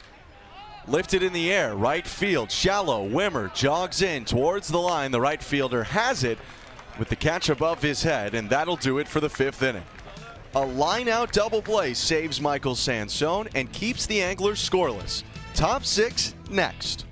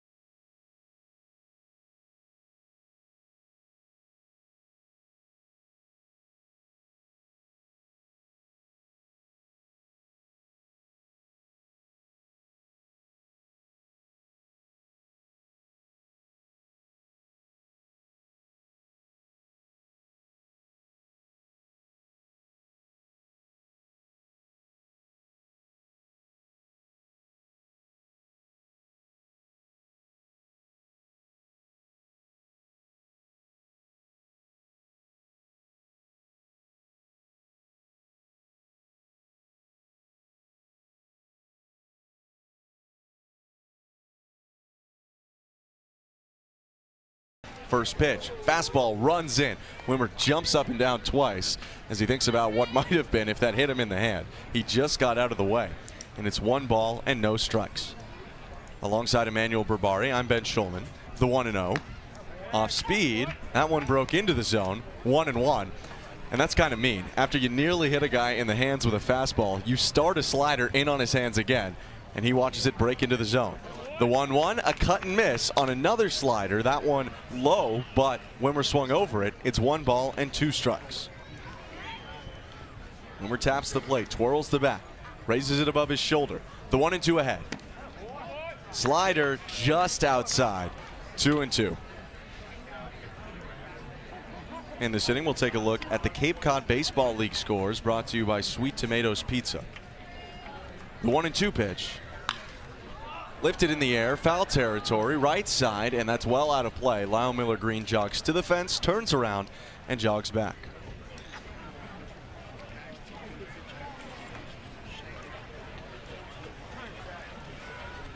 Miller Green trying to play in support of Alex McFarland, the tall right-hander on the mound from Miami. McFarland's 1-2.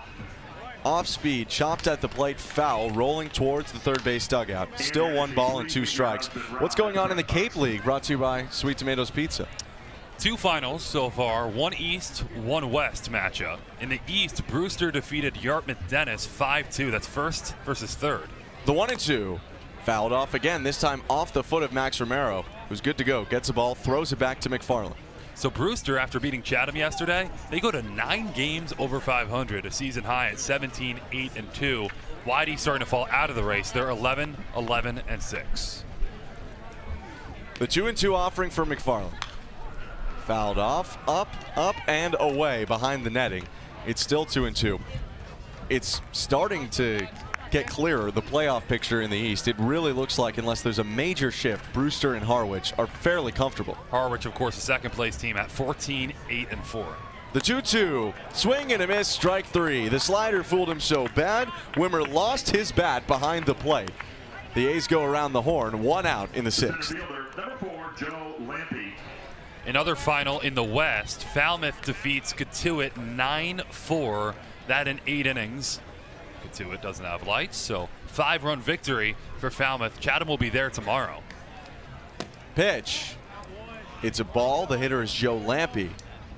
And it was a fastball left low and away. 1 0. Chatham will be at Guv Fuller Field for the first time since opening night tomorrow. The 1 0 pitch. Cut and a miss on a low fastball, 1 and 1. The A's tied that game 7 7. Then Falmouth came here more recently and really put a hurting on the Anglers. McFarland's 1 and 1. Popped up, foul territory left side into the Red Nun parking lot beyond the left field line bullpen. Couple of games in progress, both East versus West. Orleans trails Wareham 3 2 in the fourth. The 1 and 2. Fouled off again left side out of play. And the other East West game is the aforementioned Harwich Mariners slamming the Hyannis Harbor Hawks 15 6 in the top of the sixth inning at White House Fields. That's a teed up victory for the Mariners. The 1 and 2. Fastball, strike three looking on the outer edge. Joe Lampe knew it. He turned around before Rich Catani, the home plate umpire, made the call. It's back to back strikeouts to start this top of the sixth inning for Alex McFarland. So if the finals are combined with the current scores and the current scores hold, the East Division picture at the end of tonight would be Brewster at 17 8 and 2, Harwich 15 8 and 4. Pitch to Tanner Schobel, 0 and 1. And then YD falling to 11 11 and 6. If Orleans can gut out this game against Wareham, they would tie YD for third. McFarland just got into his windup, then realized Rich Catani had the hand up to call time, so he stopped. The 0 1 offering. Swing and a miss on a slider low and away. No balls and two strikes. Batter Tanner Schobel from Virginia Tech. Looks at the 0 2 and it bounces in the dirt, a slider. One ball and two strikes. Schobel doubled his last time at the plate in the fourth inning and was stranded. One and two offering. Swing and a miss. Strike three. Bounced in the dirt. Romero goes inside the line, throws to Lyle Miller Green, who makes the catch to end the inning.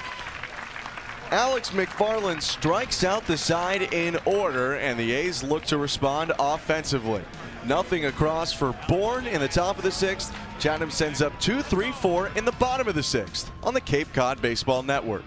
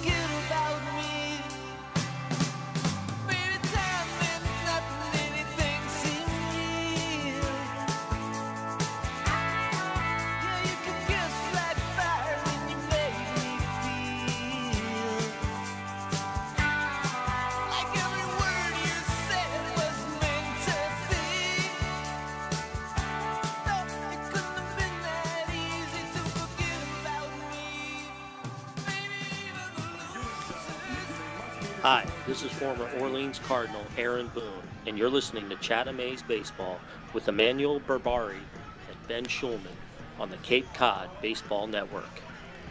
Not a lot of offense right now for the Chatham A's. They have no runs on three hits as we go to the bottom of the sixth inning. But good for the A's. It's a new pitcher. They get to shed off the monkey on their back of trying to get hits against Michael Sansone. And instead, it's Cole Chidoba, a right-hander from the University of Connecticut, coming in to take on 2-3-4 in the Chatham order.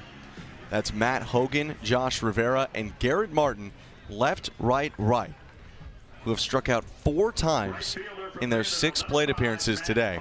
But Rivera does have a base hit, and Martin did get on with a hit by pitch. So a mixed bag of the day for the two through four hitters. We start with Hogan batting from the left side. He stands hunched over in the box. The first pitch swung on and fouled off out of play off to the left side 0 1.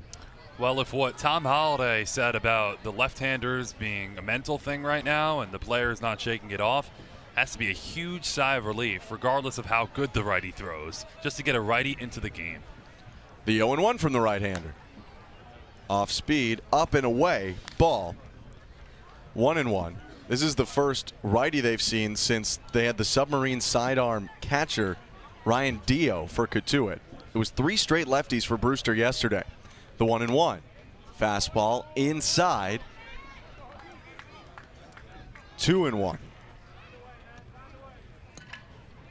And then, of course, to start today, Michael Sansone, who went five scoreless innings, surrendering just three hits.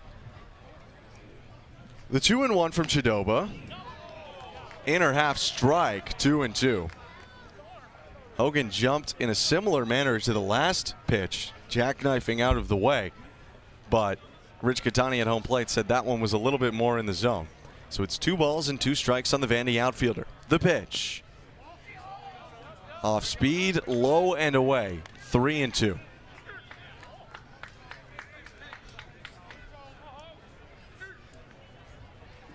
Full count on Hogan, the leadoff hitter. Behind him, it's Josh Rivera. The three and two. Ball four, up and away with a fastball. Matt Hogan reaches for the first time today. Second consecutive inning with a leadoff base runner for the Anglers. Last inning erased on a line drive. A rocket from Caden Tranquil to first. A line drive double play. Only trailing by two. Tying run comes to the plate. These are the guys you want when you need to knock in runs. Coming up right now, it's the three hitter, the shortstop from Florida, Josh Rivera.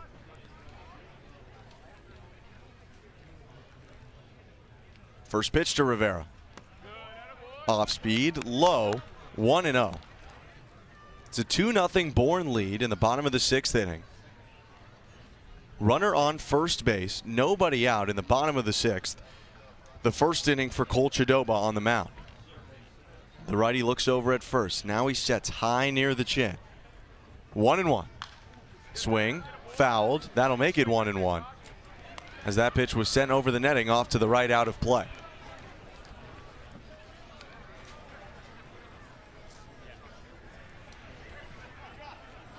For Chidoba, it's his fifth appearance this season, has worked to a sub 3 ERA in 14 innings of work.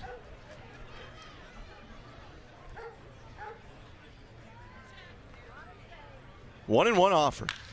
Grounded right side. Taylor made double play ball. Picked up by the second baseman Schobel. He tags and throws over to first. They say the tag was not successfully applied on Hogan. It looked like he ran right into him. I was about to say it's rare you see a second baseman actually execute the 4-4-3 double play. And that time, a rare example of someone executing it, and and now the confusion's done. Hogan's going to jog back to the third base dugout. Schobel tagged Hogan on his chest. He definitely tagged him. Rarely does a second baseman actually do that and do it successfully because the runner will dance out of the way or something crazy like that. But that's a double play in truest form. Yeah, they, they collided. I mean, I was I was frankly incredibly confused why Hogan was still on the bag. There was no way around it. Tom Holliday's now having a discussion with Rich Catani. I mean, I don't know what the discussion is. They ran into each other. Like, there's no better way to describe it. They went chest on chest. It must be a base path or explanation type of discussion. Tom Holliday's now going to the third base ump, Lou DeLuise, for further explanation. You can't say that Hogan wasn't out. Maybe you can argue some sort of intricacy that, that no one is aware of. But I mean, you're allowed to get in the base path when you have to tag someone. There's a discussion going on now. The three umps are going to conference. So Tom went over to Lou DeLuise, and they're it- talking. uh, it could it be interference? Like maybe, uh, you know, just because I. I'm honestly kind of only saying that because I'm unsure of what what else well could happen. Yeah, they're not gonna they're not gonna change this. No. A, a double play. Hogan ran in a straight line. It- it's not like he did anything crazy in the base pass. It's not like Schobel interfered with Hogan. Hogan just ran right into him. There's a tag on the chest and a double play. When when you teach someone baseball, that's textbook four four three. So it is a double play. There is nobody on, and two outs in the bottom of the sixth inning. Garrett Martin up to the plate. Bourne two, Chatham nothing. Pitch to Martin. Off speed, strike, 0 1. But overshadowed with all that confusion is Chatham two straight innings, putting runners on first to start the inning, two double plays. Last inning hard luck, that time real double play. The 0 1. Another off speed pitch just outside. It's one ball and one strike. And for a team that struggled offensively, last night they had an opportunity as well. In a 3 0 game, bases loaded, nobody out, didn't score. The 1 and 1. Fastball, strike, outside edge. One ball and two strikes with two outs. So those few opportunities that they're getting to really get off the schneid, they're not coming through. The one and two pitch. Swing and a miss, strike three. Off speed low and in, it actually bounced, and Garrett Martin swung over top of it. Nothing across for the A's in the sixth inning. We go to the seventh with Bourne leading two to nothing on the Cape Cod Baseball Network.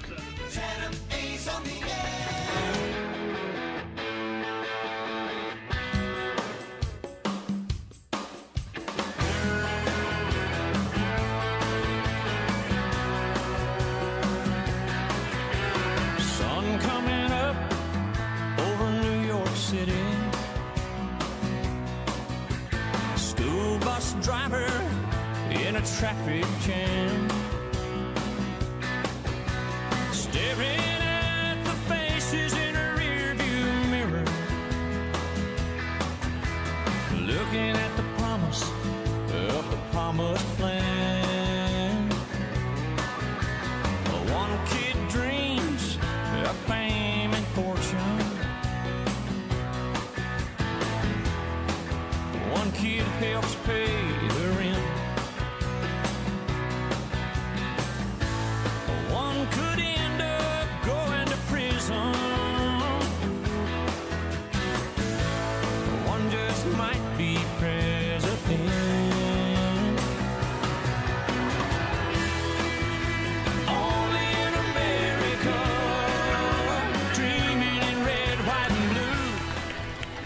Top of the seventh at Veterans Field.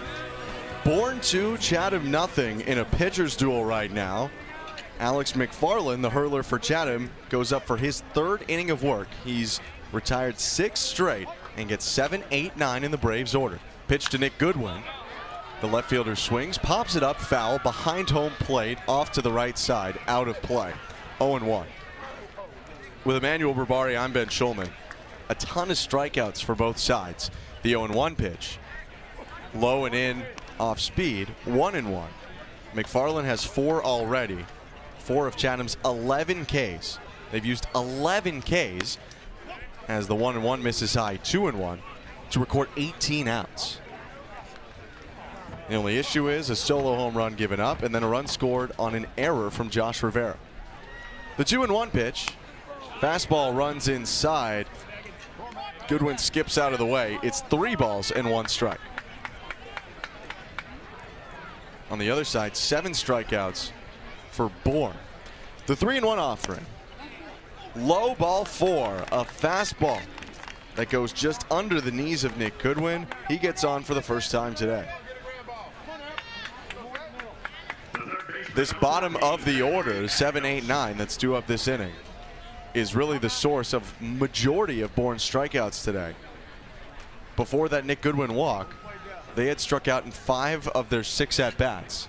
The one non strikeout, a Zachary Agnos home run that opened the scoring.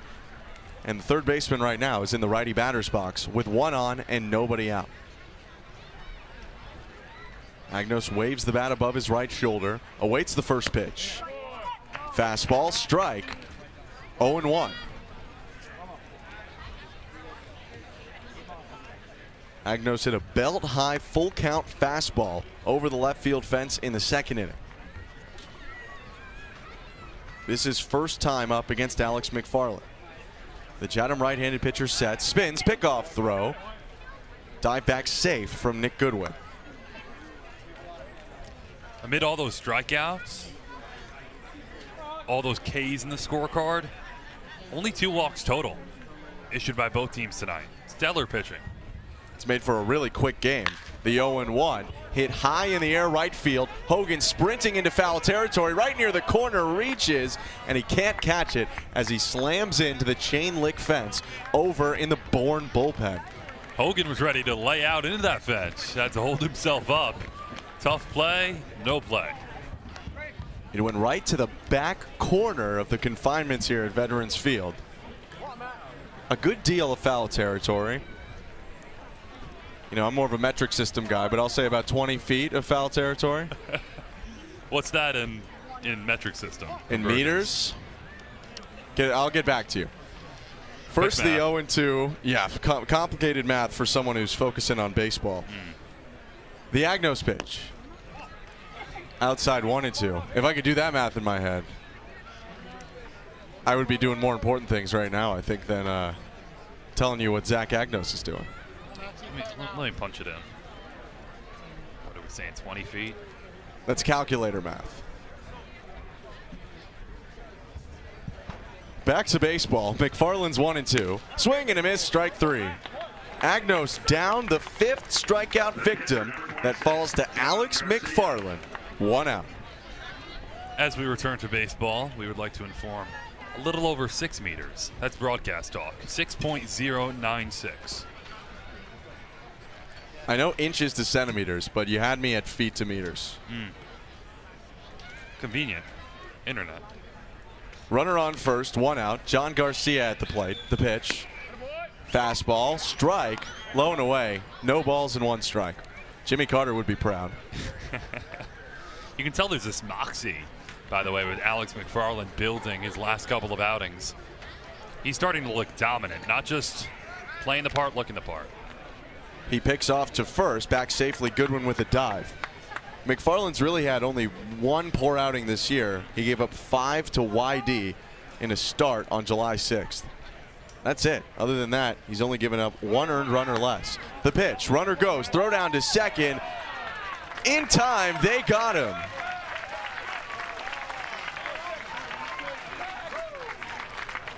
It was a ball high and away. Max Romero darts the ball down to second base, and Goodwin was out by a few steps. I mean, he was late sliding in there. Two outs. That's a cannon for Max Romero, who continues to evolve as a defensive catcher this summer. Pitch to John Garcia. He ducks out of the way, at least moves the hips back on a fastball in. Two balls and one strike. And that's the next step, taking the advice from someone like Mickey Tettleton, putting it to use. The two and one. Swing and a miss. High fastball. Two balls and two strikes. You know if you hit for power as a catcher, you'll get an opportunity. There aren't too many of those. If you can add defense to that, and even more defense than he already has, Romero is a top prospect. The two and two. Lifted in the air, down the right field line. Slicing foul out of play. There's nobody on after Max Romero just hosed out Nick Goodwin. Two outs in the top of the seventh. Braves two, Anglers nothing. The two and two. Off speed, high, full count. John Garcia with a pair of strikeouts tonight. One looking, one swinging. The three and two. Inside ball four.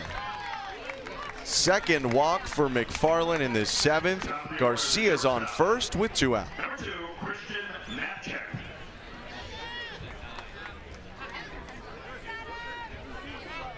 Walks have been a bit of an issue for Alex McFarland.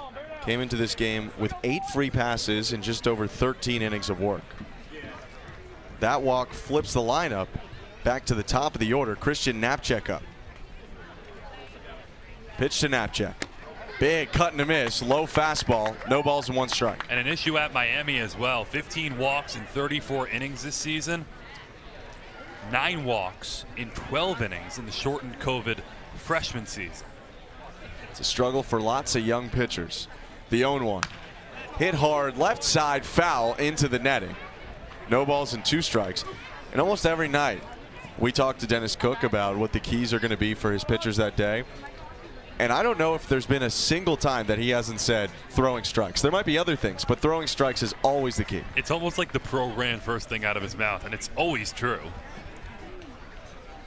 McFarland doing well right now. The 0 2, that one's not a strike. It's up and in. One ball and two strikes. One of the few people I haven't heard him say that about, Tanner Witt, tonight's starter, who for a second consecutive outing didn't walk a batter.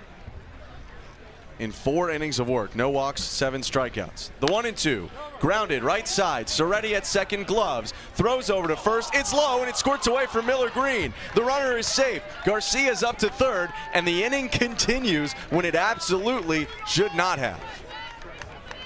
Serretti took too long charging and then was in between the underhand flip and the overhand. But that's a play Lyle Miller Green has to make. That's not even a pick out. That's a backhand play. And he let it go past him. I'd give about 50% responsibility either side because from really close in, Serretti threw the ball low. So Miller Green had to drop the glove down quickly, but then also didn't look like it bounced before it hit leather. So it scored an E4. The inning goes on, and Dennis Cook wants to settle down his freshman right hander from Miami, Alex McFarland.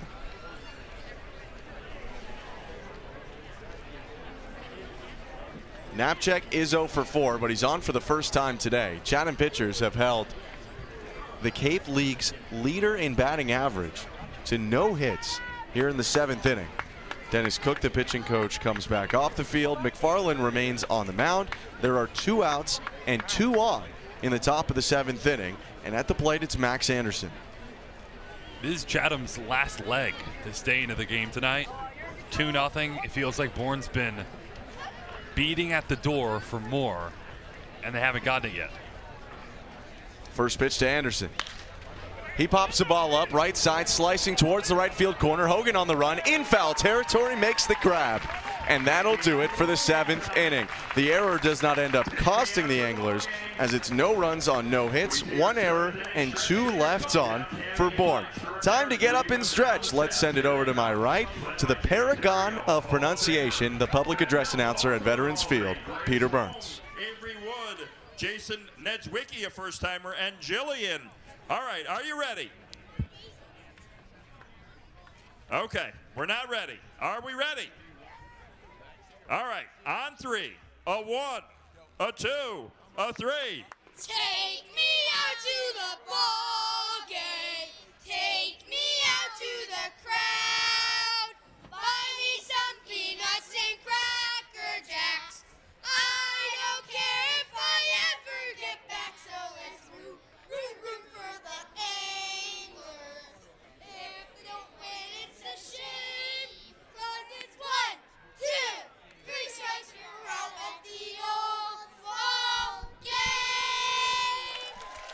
Top of the seventh done. Take me out to the ball game has been sung. And now we'll step aside for a moment. We continue in the bottom of the seventh next on TRZ Team Line.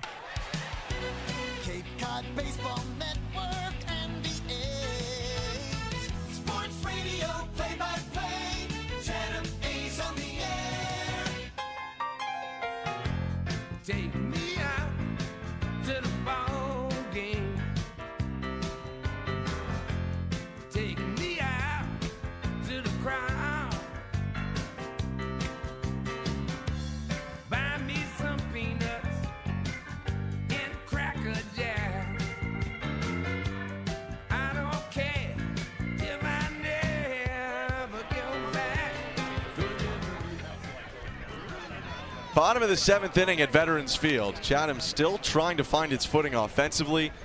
Bourne two, Chatham nothing. With Lyle Miller Green leading off. The pitch from Chidoba. Miller Green looks at it as it breaks past him. An off speed pitch at 80 miles per hour. Lands low and away. Ball 1 and 0. Lyle is 0 for 2 today with a strikeout. The 1 0 offer. Fastball high 2 0. Aside from being the Cape League leader in strikeouts, Lyle also leads the Chatham Anglers in walks this season.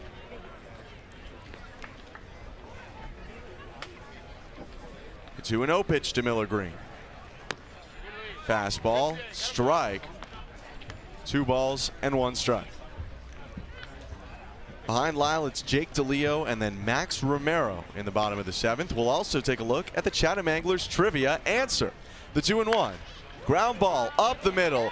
Knapczyk, the shortstop pulls up as it goes past him and into center field. Lyle Miller Green with his first base hit today. All right, let's do some trivia. We went over the prompts in the third inning. I nearly spoiled it. Hopefully, I didn't give someone a free answer.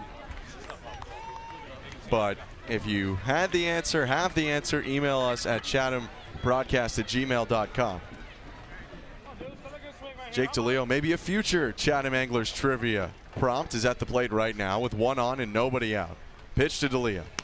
Fastball, strike, 0 1.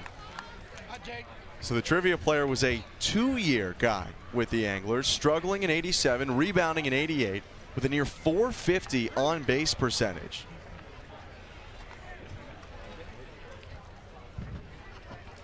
The 0-1 pitch.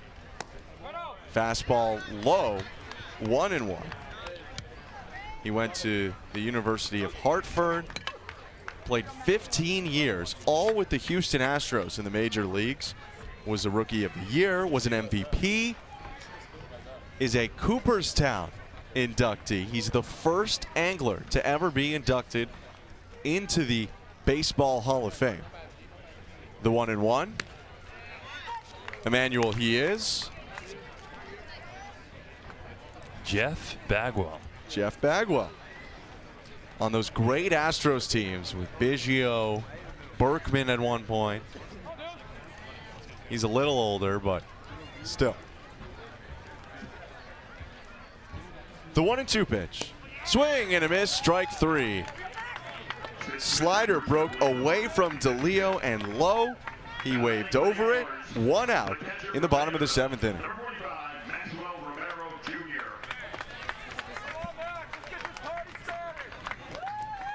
Someone just yelled, Come on, Max, let's get this party started. Whoever that is should come up here. He's just about right. The mm. A's need a hit. Romero second on the team in homers. He's the tying run right now with one out in the bottom of the seventh. The pitch to Romero. Big swing, line drive, left center. Goodwin over to the gap, leaps, and it's over his head. It rolls to the base of the wall. Rounding second to third, Miller Green. Randy Whistler stops him there. Max Romero gets the party going with a double at second base right now, and the Anglers' best threat of the game. He hits it hard. It keeps rising and rising away from Goodwin, who probably could have had that ball if he took a direct track to it, but turned around a couple of times, got stuck up out there. And the Kansas State left fielder had to play it off the wall. The Anglers, a base hit from tying this thing up. Goodwin misjudged it. It was a base hit. He never touched it. He just ran in front of where he should have been. And by the time he leaped, it was over his head to the wall. It's now a two for three night for Romero, who leads off second. Colt Chidoba in the set. Kenny Levari up. The pitch to Levari. Breaking ball outside, 1 0. Earlier in the game, Nick Goodwin, the guy who just misplayed the liner, made a diving catch to rob Kenny Levari, the guy at the plate, of a double down the left field line. The 1 0 to Levari. Off speed, strike on the outer edge, 1 and 1.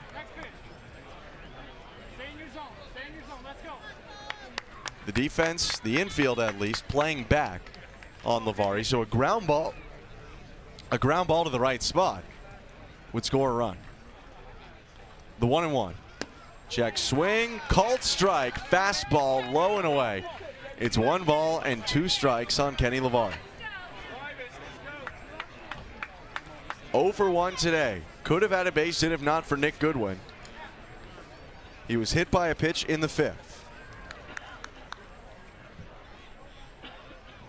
The one and two. Lifted in the air, center field, not very deep. Lampe playing at his position, just waits for it and makes the catch. Miller Green tags the throw, goes into third base as Lyle comes home to score. The A's are on the board. Bourne two, Chatham one, and some life finally for this Angler offense. Situational hitting. Mentioned a couple of innings ago, the Anglers, for their lack of chances the last few days, they've gotten runners on and not scored them in those few chances. This time, Levari does exactly what he needs to do. That's a first place play, though, by the center fielder Lampe. You don't try to airmail it home. The tying runs on second base. He throws to the cutoff man at short and keeps that runner at second base. Trying to knock him in is Caden Tranquil at the plate. The pitch to Tranquil is a fastball up and away. One ball. On second, it's Max Romero, who's double pushed Miller Green to third base and set up that sac fly from Levari the last at bat. It's 2 1 Bourne. The Braves haven't scored since the third. The A's just got on the board for the first time today. The 1 0 pitch. Fastball low, 2 0. Caden Tranquil tries to find any way to keep the inning alive. He's in the nine hole. If he can reach base safely, the top of the order comes up in Danny Serretti.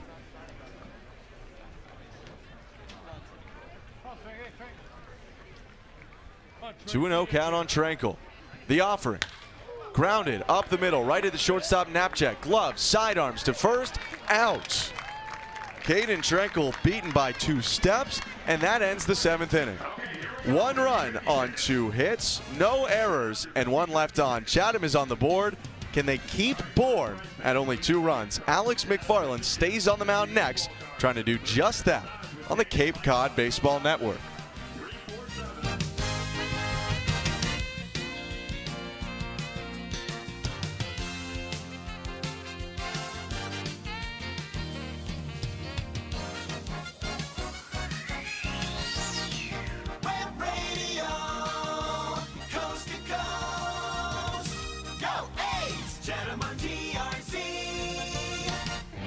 Hi, folks. It's Red Sox radio broadcaster Joe Castiglione here to thank you for choosing Shaw's and Star Market and to let you know that Shaw's and Star Market are now proud sponsors of the Cape Cod Baseball League, where the stars of tomorrow shine tonight.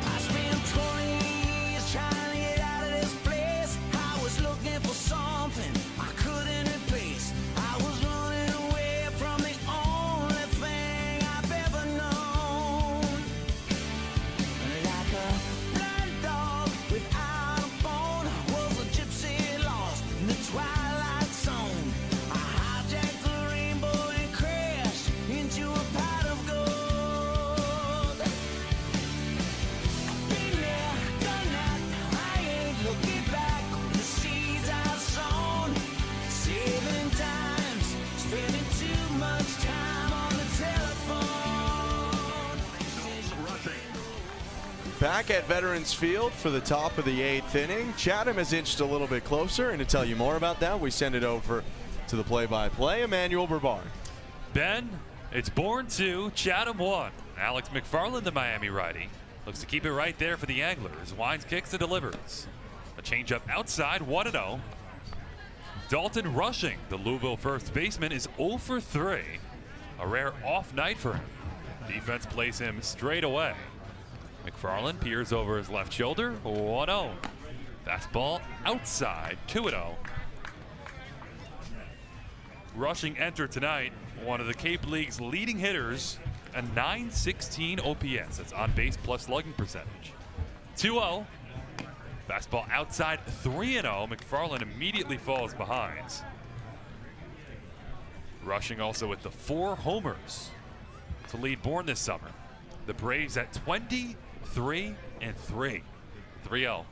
Fastball clips the outside corner for a strike. 3 and 1. That's 20 wins in 26 games for the first place Braves out of the West. 3 1 offering. Fastball stays outside. Rushing's on board for the first time tonight. Tosses a black bat towards the first base dugout. Slowly jogs down to first. And the Braves looking for insurance in the top of the eighth. A leadoff base runner.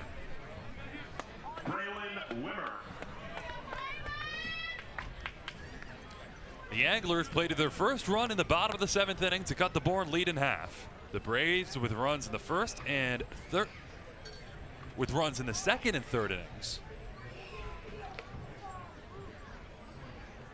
Righty hitter steps in. First pitch, a fastball strike, 0 1. Braylen Wimmer, the South Carolina Gamecock, is two for three with an RBI single in that third inning, where Bourne extended the lead to 2 0. Now it's 2 1. Rushing leads off first three steps. He's held right there. 0 1. Change up swing and a miss 0 2. McFarland's walked three of his last five batters, but he struck out five on his outing. Hasn't allowed a run yet. He's kept Chatham in the game.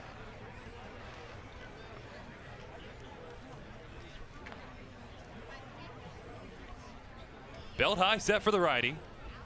Looks in, fires. Fastball, strike three called. Outside corner.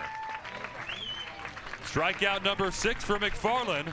Wimmer walks back to the first base dugout, one away in the eighth. Second time Wimmer's been struck out tonight, both from Alex McFarland, the hard-throwing Miami righty. McFarland back in the set the lefty hitting Joe Lampe. First pitch, fastball foul back right into the netting behind the plate. 0-1. Huge swing from Lampe. Looking to unload, and he was right on it. Lampe's 0 for 3 with three strikeouts. Bourne 2, Chatham 1, top of the eighth. One on, one out. McFarland's 0 1. A bunt attempt is pulled back, goes right past Romero to the backstop. And Rushing advances a 90 feet to second base standing. Lampe flashed the bunt after his huge first pitch swing. And once he pulled it back, that fastball was up and away and past the glove of Romero, who got some leather on it before it trickled on by. Ball to strike and Bourne with a runner in scoring position would be a huge insurance run in this top of the eighth inning in what's been an offensive struggle for the Anglers once again.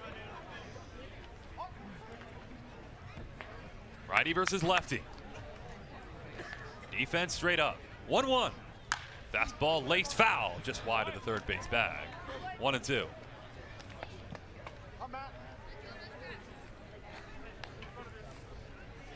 Bourne, two runs on six hits. The Anglers, one run on five hits. One and two, one away. Runner off second, four step lead. Not held on. One, two. Breaking ball, spoiled foul behind the plate. Still one and two. Is McFarland's second consecutive quality outing. Hard luck loss against Harwich last time, despite the seven strikeouts in three and a third. Defense didn't help him in that eighth inning of the loss. Ahead one and two here with one away in the eighth. Runner off second. Pitch. Fastball grounded softly to second. Serretti charges to his left. Gloves underhand flip to first. And gets Lampe by a couple of steps. Rushing up to third. Two away in the eighth for Bourne. The second baseman, number 27, Tanner Schobel. Lampe, the Arizona State Sun Devil, goes to 0 for 4. Rushing's 90 feet away. 2 1 Bourne, top eight. Chatham wants a chance. McFarland getting out of this would go a long way towards their hopes. Righty versus righty, first pitch. Tanner Schobel swings and misses. 0-1. Schobel, the Virginia Tech Hokie, is one for three with a double. He was stranded back in that fourth inning. As he hit the gap, three consecutive strikeouts after him. 0-1. Fastball tipped right into Romero's mitt on the breaking ball, 0-2.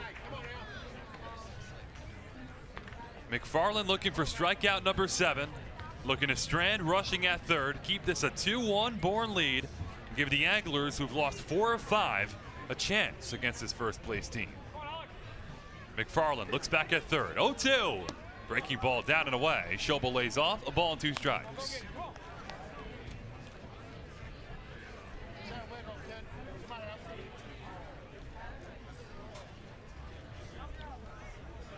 Rushing a three-step lead off third. One and two with two down, top of the eighth. McFarland fires. Fastball up and in, two and two.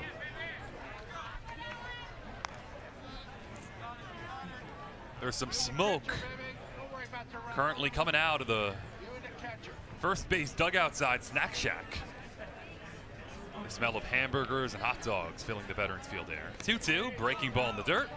Romero smothers it to keep the runner at third. 3 and 2. That smoke is covering right field. Underneath the lights in Chatham. Calm night, sun is set, dark skies on the outfield horizon. Pitchers duel tonight. Bourne 2, Chatham 1, top of the eighth.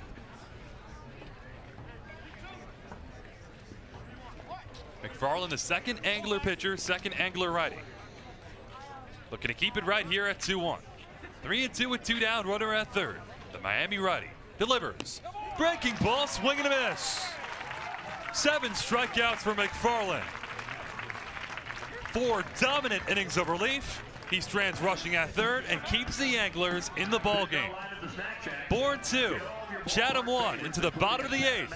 Can the Anglers create some late magic at Veterans Field? We find out next on the Cape Cod Baseball Network. Chatham on TRC, Cape Cod.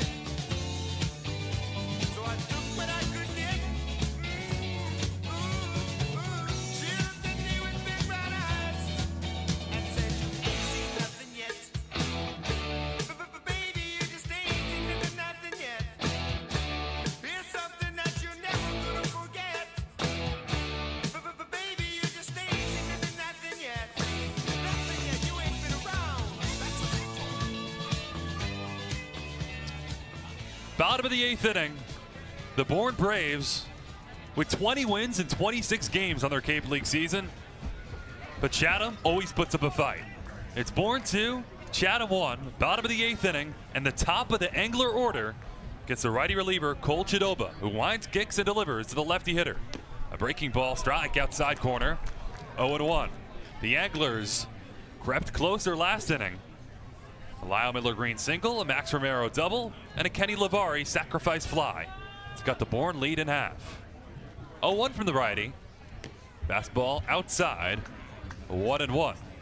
So the Anglers, who have lost four of five, and just lost to first place Brewster on the road yesterday, threatening Bourne for a third time this season. 1 1 pitch. Fastball tap foul at the plate, 1 and 2. The Anglers tied Bourne on the road about a week into the season when Bourne was 6 0. And then they beat Bourne a couple of weeks ago 5 2 at Veterans Fields. Third and final meeting between these two teams, and Chatham put up, putting up a fight once again. 1 2 comes home. Fastball, strike three called outside corner. Chidoba's third strikeout freezes Serretti. for the first out of the eighth. Serretti goes to 0 for 4. Matt Hogan.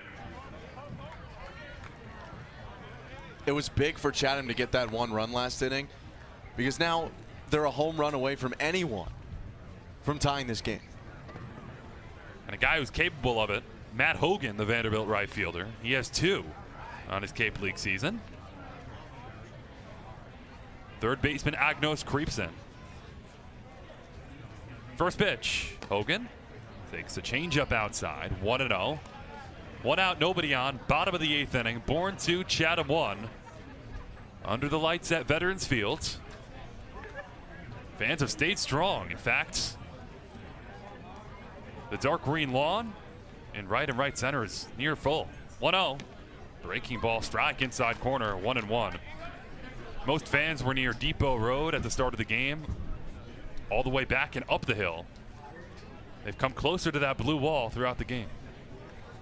Ball and a strike. Chidoba fires. Fastball popped up. Third base side foul ground. Agnos gives it a look. It's out of play. And onto the walkway beyond the third base Chatham dugout. One and two. You figured there'd be a good attendance tonight because of kind of a perfect storm of factors. It's, of course, a late July game, it's a Saturday night, it's the league leading Bourne Braves, and it's first responders night. One two pitch. Breaking ball down and away. Hogan levels the count two and two with one down, nobody on. Chatham down one. A really phenomenal ceremony pregame for First Responders Appreciation Night. Many fans came on for that reason. 2 2. Fastball, swing and a miss. Fourth strikeout for Chidoba. Two consecutive to start his eighth inning. Two away, no one on for Chatham. Hogan down swinging for a third time tonight. 0 for 3. And Josh Rivera, the righty hitter and Florida shortstop, steps in. You mentioned one swing of the bat, Ben. Chidoba has gotten better and better, more overpowering throughout his outing. First pitch. Change up, half swing, called strike right down the middle, 0 1. 2 1 Bourne, bottom eight. Chidoba is cruising. Ready to go, 0 1. Fastball, swing and a miss, 0 2. Rivera looking to tie it on that swing. Came up empty. Tom Holliday talked before the game in the Anglers Extra pregame show about the dangers of swinging for home runs. It makes sense for the A's right now, but that's why they strike out so much, especially late in games. Chidoba's 0-2. Fastball fisted up in the air behind the plate. Garcia sheds the mask near the screen, drops the ball. Garcia tripped and had to hit his chest, but wide left of his glove on a little humpback pop-up that started coming back towards fair territory, back towards the infield, and Garcia just couldn't haul it in on what should have been the third out of the inning. Dark sky now, maybe didn't see the ball all that well. He shedded the mask late, which indicates that he hadn't located it until late. 0-2 with two down, bottom of the eighth inning. Bourne 2, Chatham 1. Chidoba winds and fires. Fastball popped up. Shallow right. Wimmer drifts in three steps, camps under it, makes a play, gets Rivera. Another 1 2 3 for Chidoba, and Bourne's three outs away from a road victory. 2 1 Braves into the top of the ninth inning at Veterans Field. Chatham, no life offensively this inning. They look to hold it 2 1 Bourne in the top of the ninth up next on the Cape Cod Baseball Network. Chatham on TRC, Cape Cod.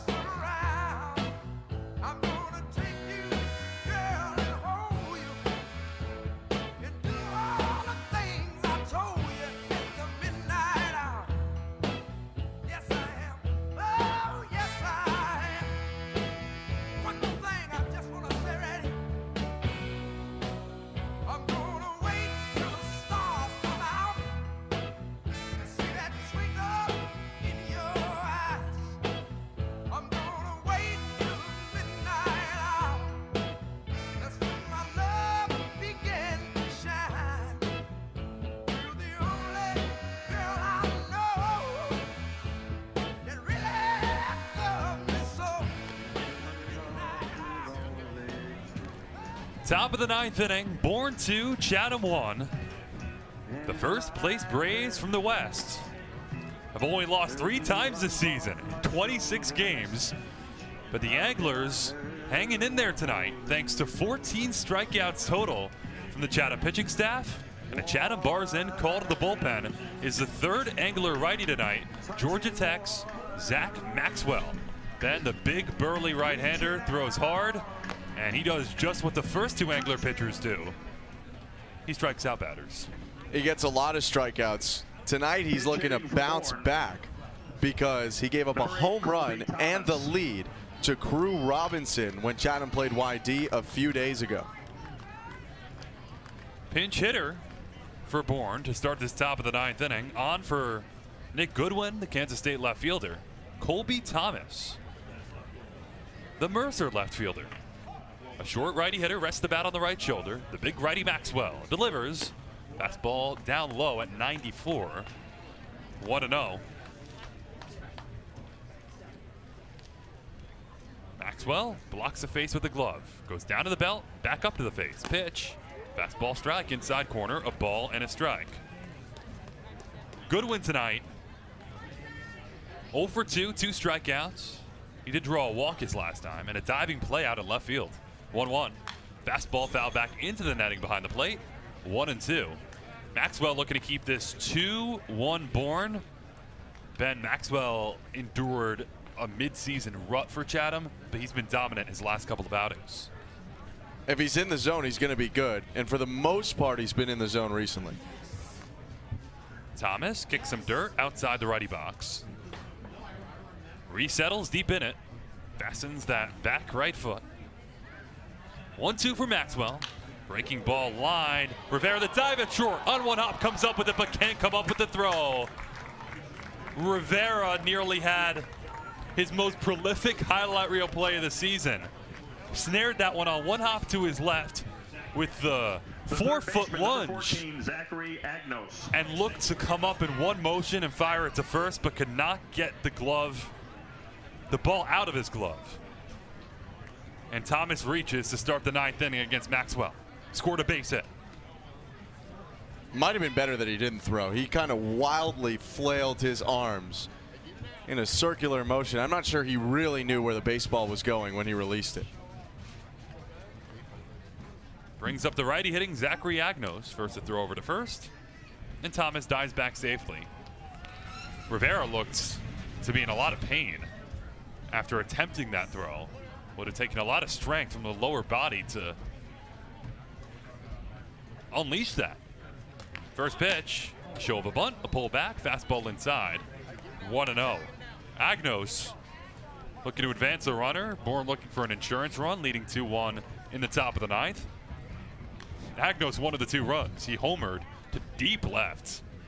Back in the second inning off Chatham starter Tanner Witt.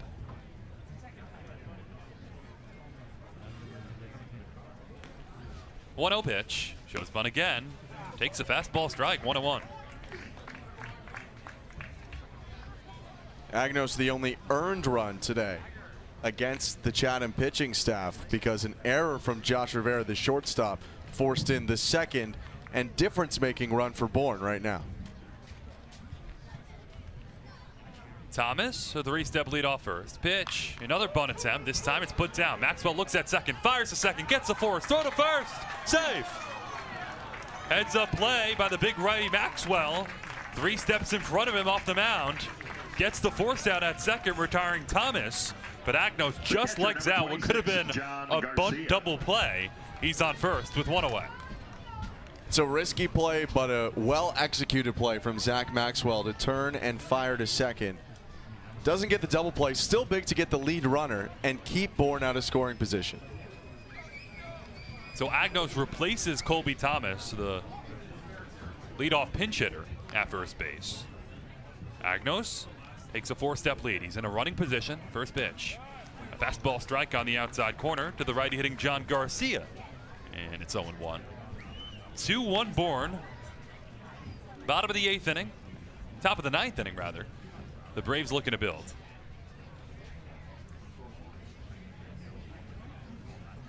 Maxwell delivers. Breaking ball in the dirt, a ball and a strike. Romero, good block, right in his black chest protector to keep the runner at first.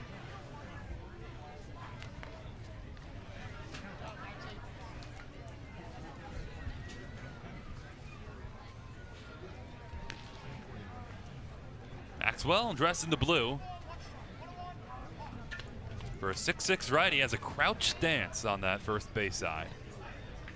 Open stance now comes closed. 1 0. Fastball, big swing and a miss. A ball and a strike on Garcia, who struck out twice and walked tonight.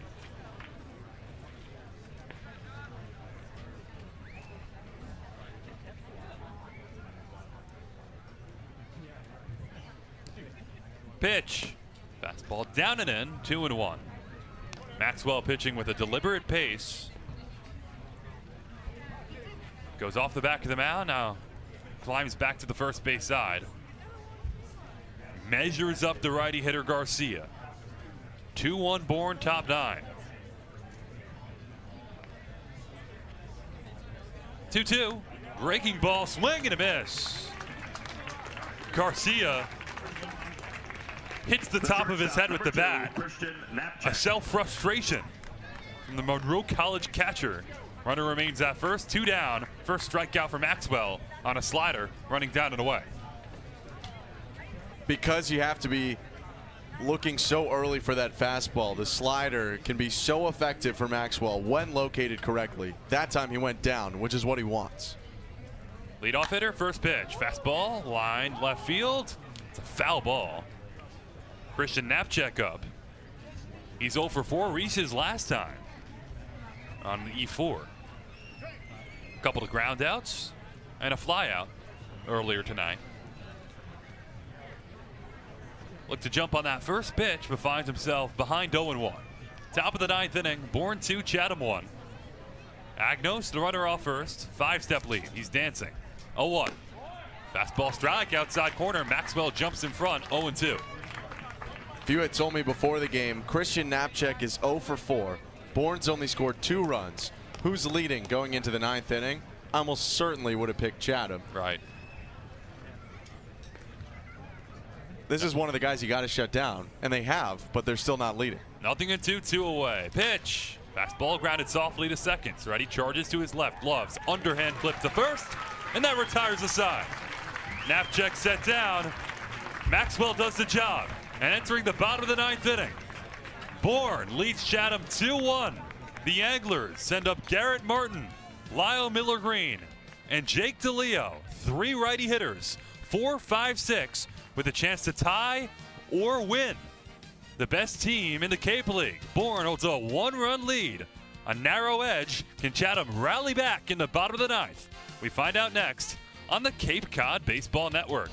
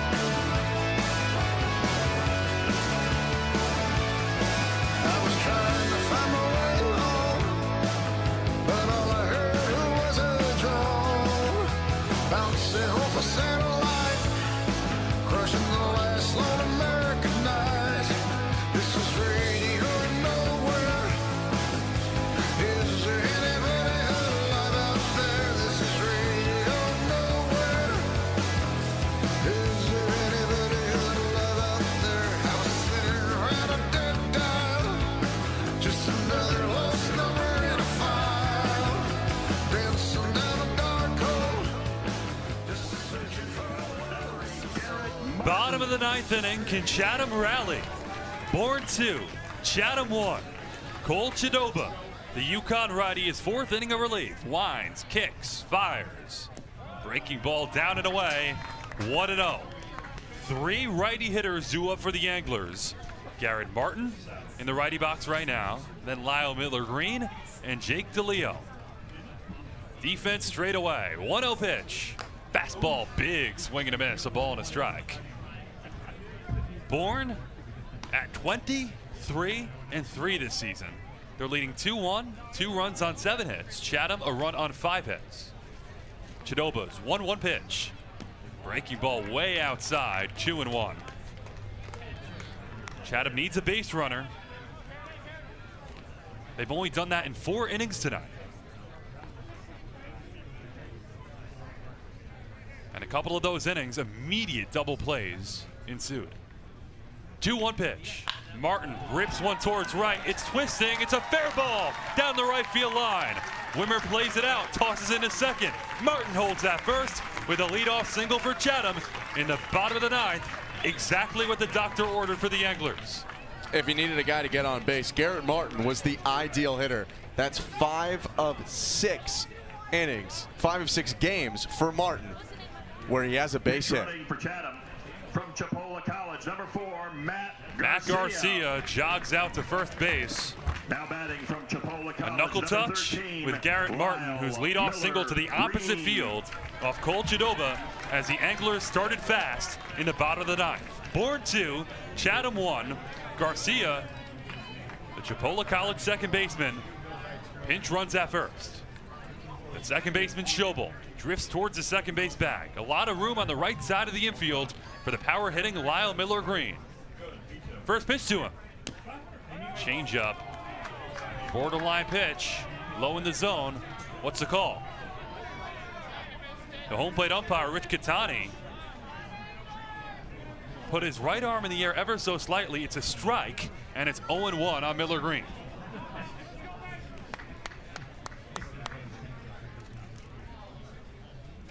The 0 1 pitch, righty versus righty. On the way.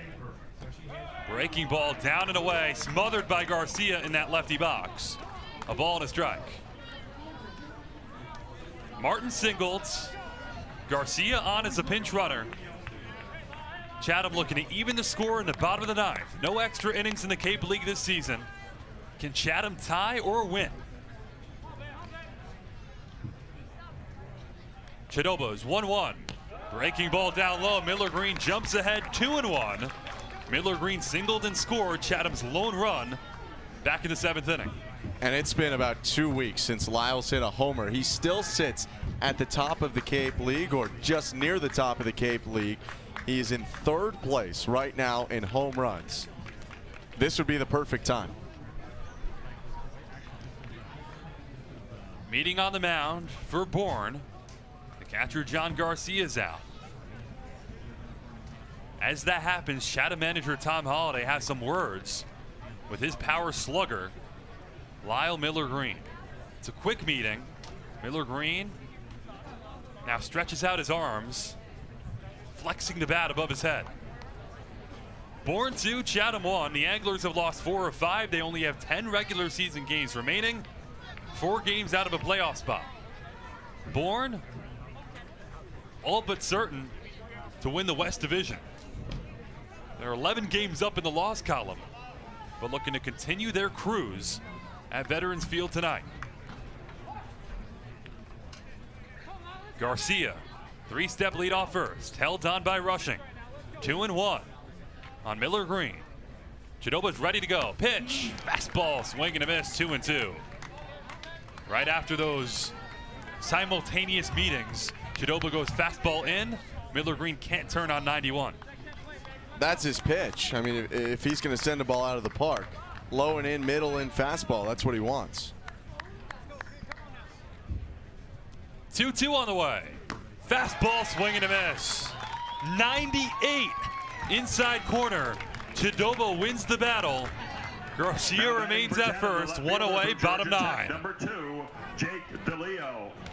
That's a big blow for Chatham. That's one of the guys who you think's got a good shot to hit the ball out of the park. Max Romero is on deck, but DeLeo, at all costs, really needs to avoid a double play ball here and keep the game alive.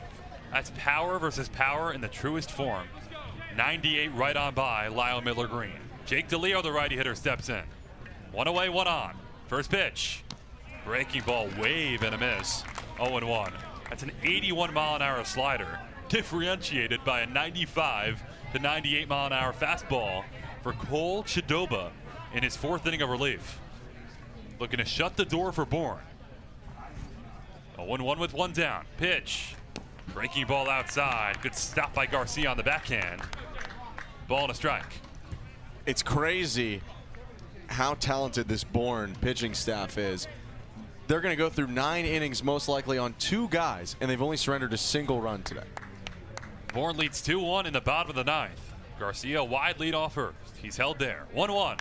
DeLeo cracks one, fairly deep right. Wimmer on the run in front of the track, makes the play, fires into second.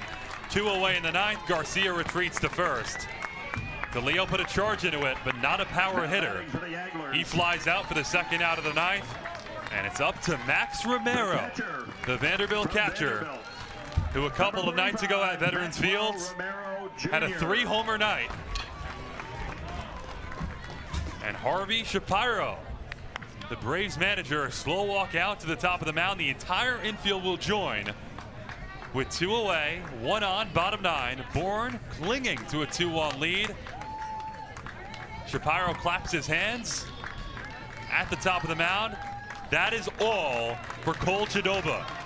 He got the Braves one out away, and now he departs. Chad Barson called to the bullpen. A lefty against a lefty Romero when we come back. Bourne 2, Chatham 1 on the Cape Cod Baseball Network. Anglers with a runner on, two away, bottom nine, trailing by one. Stay tuned. Chatham on TRZ, Cape Cod.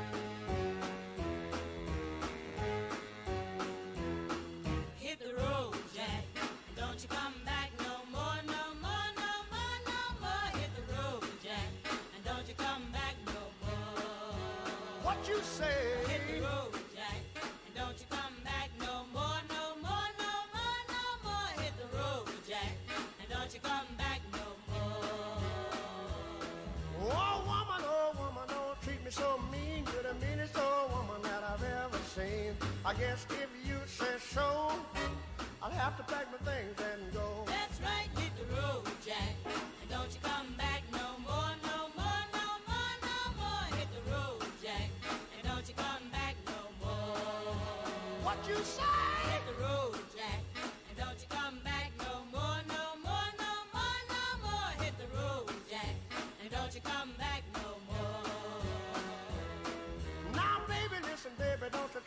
this way. Cause I'll be back on my feet someday. Don't care if you do, cause it's understood. You ain't got no money, you just ain't no good. Well, I guess if you say so, I'll have to pack my things and go. That's right, hit the road, Jack. And don't you come back no more, no more, no more, no more. Hit the road, Jack. And don't you come back no more. What you say? Hit the road, Jack. And don't you come back no more, no more, no more, no more. Hit the road, Jack. And don't you come back no more. Well, Bottom of the ninth inning, Bourne 2, Chatham 1. Under the lights at Veterans Field, the Anglers with a runner on first, two down, the powerful Max Romero stepping in, the Vanderbilt catcher. Chatham Bars Inn, call to the bullpen. It started with a Fairfield stag, Michael Sansone. It could finish with a Fairfield stag, Bryson Cafaro. The Connecticut native 6'2", 210 pounds, goes lefty on lefty to Max Romero. With two down, first pitch, breaking ball outside, 1 0. The game will end here, whether Chatham ties, wins, or loses. 2 1 Bourne, bottom nine. Garcia, the pinch runner, a wide four step lead at first. Rushing holds him on. Rest of the defense straight up for Romero. Left on left. 1 0. Fastball outside. Romero jumps ahead. 2 0. Cafaro's teammate, Michael Sansone, went five strong shutout innings to start this game. The Fairfield Stag Cafaro put in a matchup scenario looking to shut the door for Bourne. 2 0 pitch. Fastball popped up foul behind the plate. Romero right on it. 2 and 1. It's three straight lefties in this order now, starting with Romero. With a southpaw on the mound, you wonder if Max Romero gets on, if Kenny Levari hits, or maybe someone else slides into pinch hit. Because with no extras, you can hit anyone off your bench. Defense doesn't matter. 2 1 pitch. Romero rounds one to the left side to third baseman Agnos. Gloves, throws to first, gets Romero by three steps. That's the ball game. A 2 1 victory for Bourne. The Braves continue to roll. Their 21st win in 27 games on the summer 2021 Cape League season. Chatham puts a leadoff runner on in the bottom of the ninth inning, but they strand him. Garrett Martin's single doesn't do the job. No runs on a hit, no errors, one left. Cole Chidoba started the inning. Bryson Cafaro, the Fairfield Stag, finishes it. 2 1 Bourne over Chatham tonight. The Anglers return home and drop one on this Saturday night at Veterans Field. The Anglers Extra Post Game Show straight ahead on the Cape Cod Baseball Network. Radio, coast to coast. Go A's, Chatham on DRC. Hi, this is Austin Vernon from North Carolina Central University.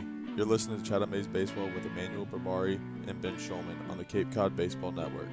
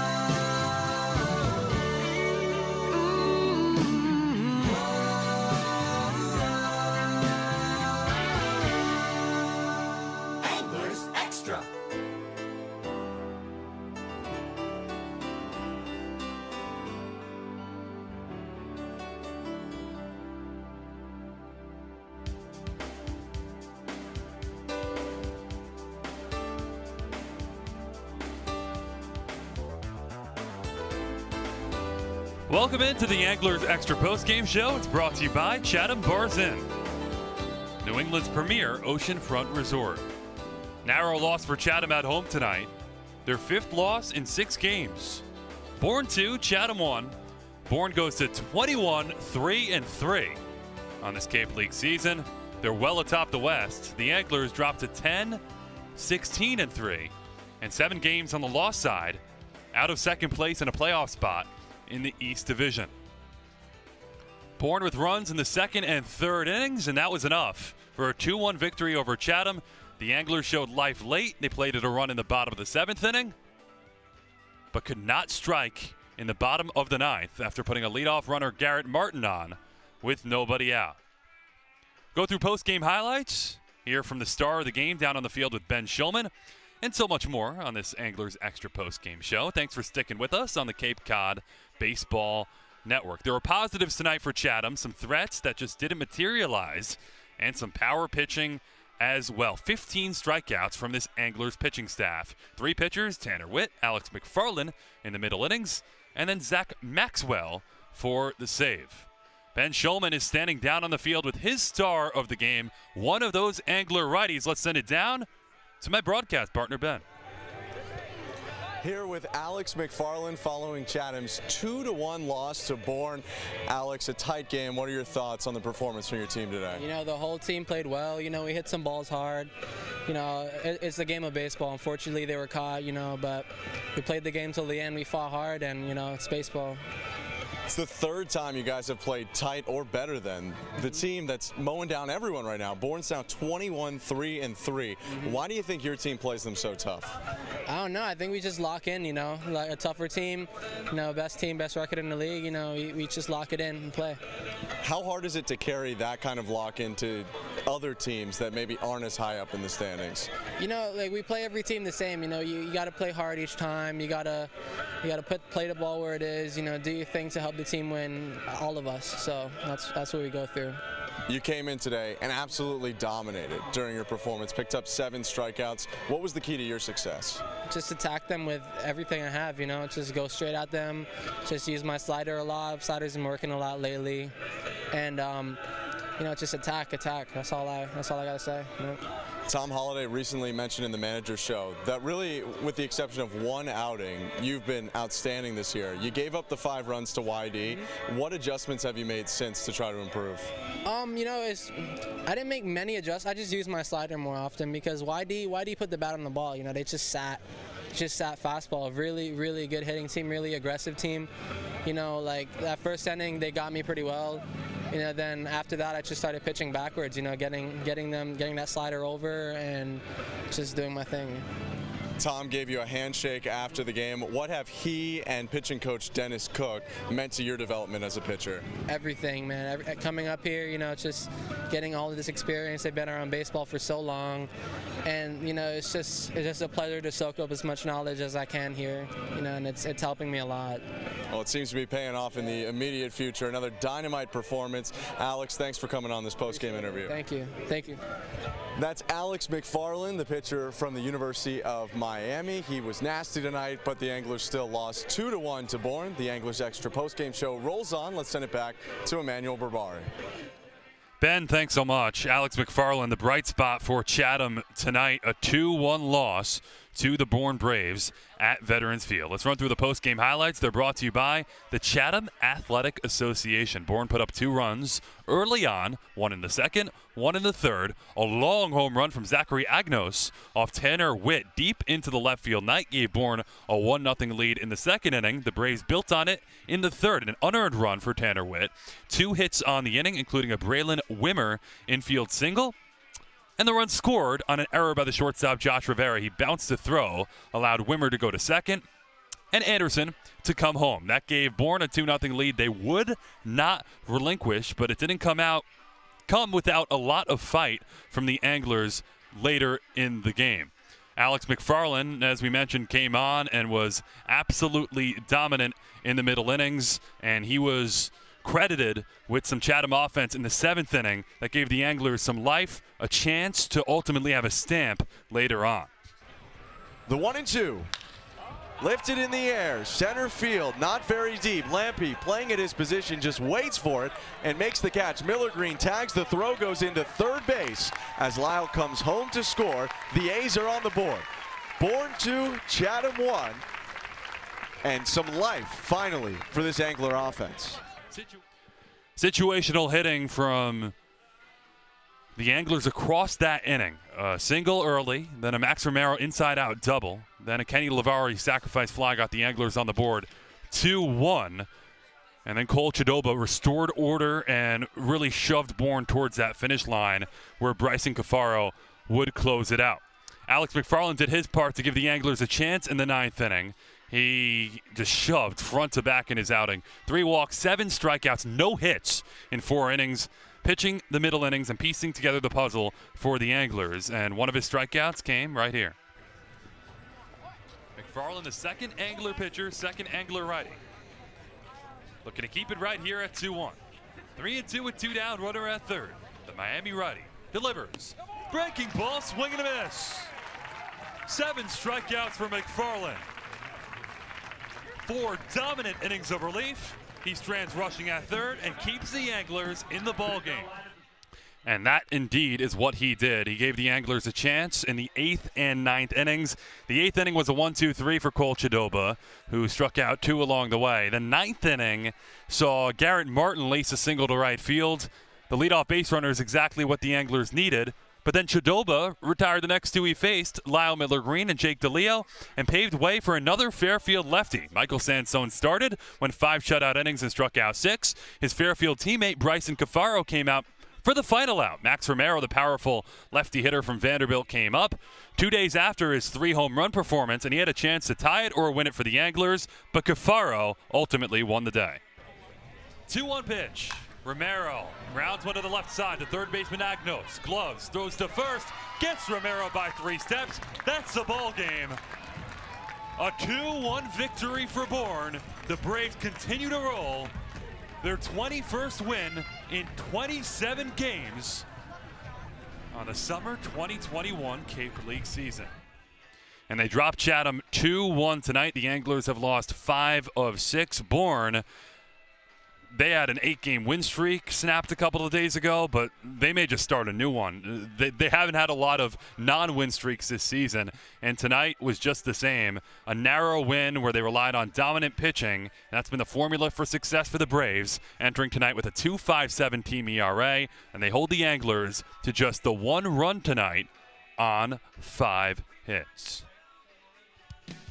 Thanks so much for listening to Chatham A's Baseball on the Cape Cod Baseball Network. Again, Bourne 2, Chatham 1 tonight at Veterans Fields. A strong crowd for First Responders Appreciation Night. They stayed strong all game and watch the Anglers creep close at the end, but ultimately not finish the job. The Anglers dropped to 10, 16, and 3. They're back in action tomorrow night at Falmouth for the first time since opening night. They're at Guv Fuller Field. Coverage at 540 on the Cape Cod Baseball Network. 800 846 4700 on your phone.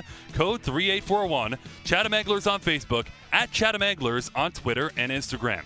For the entire Anglers media team, for my partner Ben Shulman, Emmanuel Berbari saying good night, Bourne a 2 1 winner at Veterans Fields. So long, enjoy the rest of your evening on the Cape Cod Baseball Network.